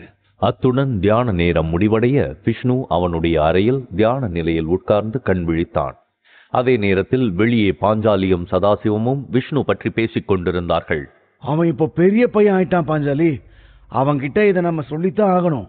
அவன் எவ்வளவு பெரியவனா ஆனாலும் இன்னும் என் புள்ளதானுங்க அவனை நம்ம தத்து எடுத்து தான் வளர்த்தோம். ஆனா அவன் என்னோட புள்ளதான். நீங்க உண்மையை சொல்ல போய் அவன் அவனோட உண்மையான அம்மா அப்பாவை தேடி கிளம்பிட்டான்னா அப்புறம் நான் என்ன செய்வேன்? என் பிள்ளைய பார்க்காம மூணு வருஷம் கஷ்டப்பட்டதே போதும். அதுக்காக வயசு பையன்கிட்ட இந்த உண்மையை சொல்லாம இருக்கிறது சரியா இருக்காது பாஞ்சாலி. அது அவனுக்கு தான் கஷ்டம். இருவரும் பேசி முடித்து விஷ்ணுவை அழைக்க சதாசிவம் அவன் அறைக்கு வந்தார். விஷ்ணுவை அழைத்து கொண்டு போய் மூவரும் உட்கார விஷ்ணுவுக்கு அவர்கள் எதை பற்றி பேசப் போகிறார்கள் என்று தெரிந்திருந்தது. சதாசிவம் தன்னிடம் ஸ்ட்ரிக்டாக இருந்திருக்கிறார் என்றாலும் அவர் ஒருமுறை கூட விஷ்ணுவை கை நீட்டி அடித்ததில்லை. விஷ்ணு இப்ப சொல்ல போறது உனக்கு கஷ்டமா இருந்தாலும் நீ ஒரு விஷயத்தை புரிஞ்சுக்கணும். அவர்கள் அடுத்து பேசப் போவதை உணர்ந்த விஷ்ணு நீங்க தானம்மா என்ன வளர்த்தாம்மா? எனக்கு நினைவு தெரிஞ்ச நாள்ல இருந்து உங்களை தவிர என் நினைவுல அம்மாவா வேற யாரும் இருந்ததில்ல. இப்போ வரைக்கும் நீங்க தான் இதுக்கு மேலையும் நீங்க தான். அவன் அப்படி சொன்னதும் பாஞ்சாலி அழுது விஷ்ணுவை கட்டிப்பிடித்தார் கல்யாணம் ஆகி பல வருஷம் ஆகி. எங்களுக்கு குழந்தை இல்ல விஷ்ணு. உன்னோட அப்பா தான் குழந்தையா உன்னை எங்கிருந்தோ கொண்டு வந்தார். அன்னையிலிருந்து என் மகனாதான் நான் பாத்துக்கிறேன் சதாசிவமும் பாஞ்சாலியும் அவனை சிறு வயதில் கொண்டு வந்த கதை பற்றி கூறிக்கொண்டே இருந்த நேரத்தில் சதாசிவம் கீழே சென்று ஒரு பெட்டி ஒன்றை எடுத்துக் கொண்டு வந்தார். அந்த சின்ன பெட்டியில் பச்சை நிற மரகத காப்பு ஒன்று இருந்தது. இதுதான் உன்னோட உண்மையான பெத்தவங்க. உனக்காக விட்டுட்டு போன பொருள். அந்த மரகத காப்பை விஷ்ணு கையில் வாங்கியதும் ஒருவித சக்தியை விஷ்ணு உடலில் உணர்ந்தான். விஷ்ணு எதையோ யோசித்துக் கொண்டிருந்தான். என்ன யோசிக்கிற விஷ்ணு எங்களை விட்டுட்டு உன்னோட உண்மையான அப்பா அம்மாவை தேடி போக போறியா? அம்மா நான் யாரையும் தேடி போக போறதில்ல. உன் கூடயே தான் இருப்பேன். என்னோட தப்பு தான் அடுத்த முறை சேகர் மாதிரி யாராவது உன்னை தப்பா பேசினா அவங்கள அடிச்சு ஓட விட்டுருவேன். மூவரும் கொஞ்ச நேரம் பேசி சிரித்துவிட்டு விஷ்ணு தூங்க அறைக்கு வந்து கதவை மூடினான். அந்த மரகத காப்பு அவன் கையில் இருக்க அதில் அபார சக்தியை தன் உடலில் விஷ்ணு உணர்ந்தான். தன் விரலை கீறி அதில் ஒரு சொட்டு ரத்தத்தை அந்த மரகத காப்பில் விட அந்த இடமே சிவப்பு நிறத்தில் ஜொலிக்க அதன் நடுவில் வெள்ளை உடை அணிந்த பெண் நின்று இருந்தாள். நீ நீ உயிரோட இருக்கியா? என் மகன் உயிரோட இருக்கானா? ரொம்ப சந்தோஷம். ரொம்ப சந்தோஷம் மகனே. நீங்க நீங்க யாரு? நான் உன்னை பெத்த அம்மா. காலத்தோட சூழ்ச்சி. உன்னை கைவிட வேண்டிய நிலைமை எனக்கு உருவாகிடுச்சு. எதிரிகள் நம்மளை சூழ்ந்துட்டாங்க. உன்னையும் அவங்க கொண்டு இருப்பாங்க எனக்கு வேற வழி தெரியல. அந்த நேரத்துல ஒரே நாளில் விஷ்ணு அவனை பற்றிய பல உண்மைகளை தெரிந்து கொள்ள அடுத்தடுத்த உண்மைகளை தெரிந்து கொள்ளவும் அவன் ஆர்வமாக இருந்தான்.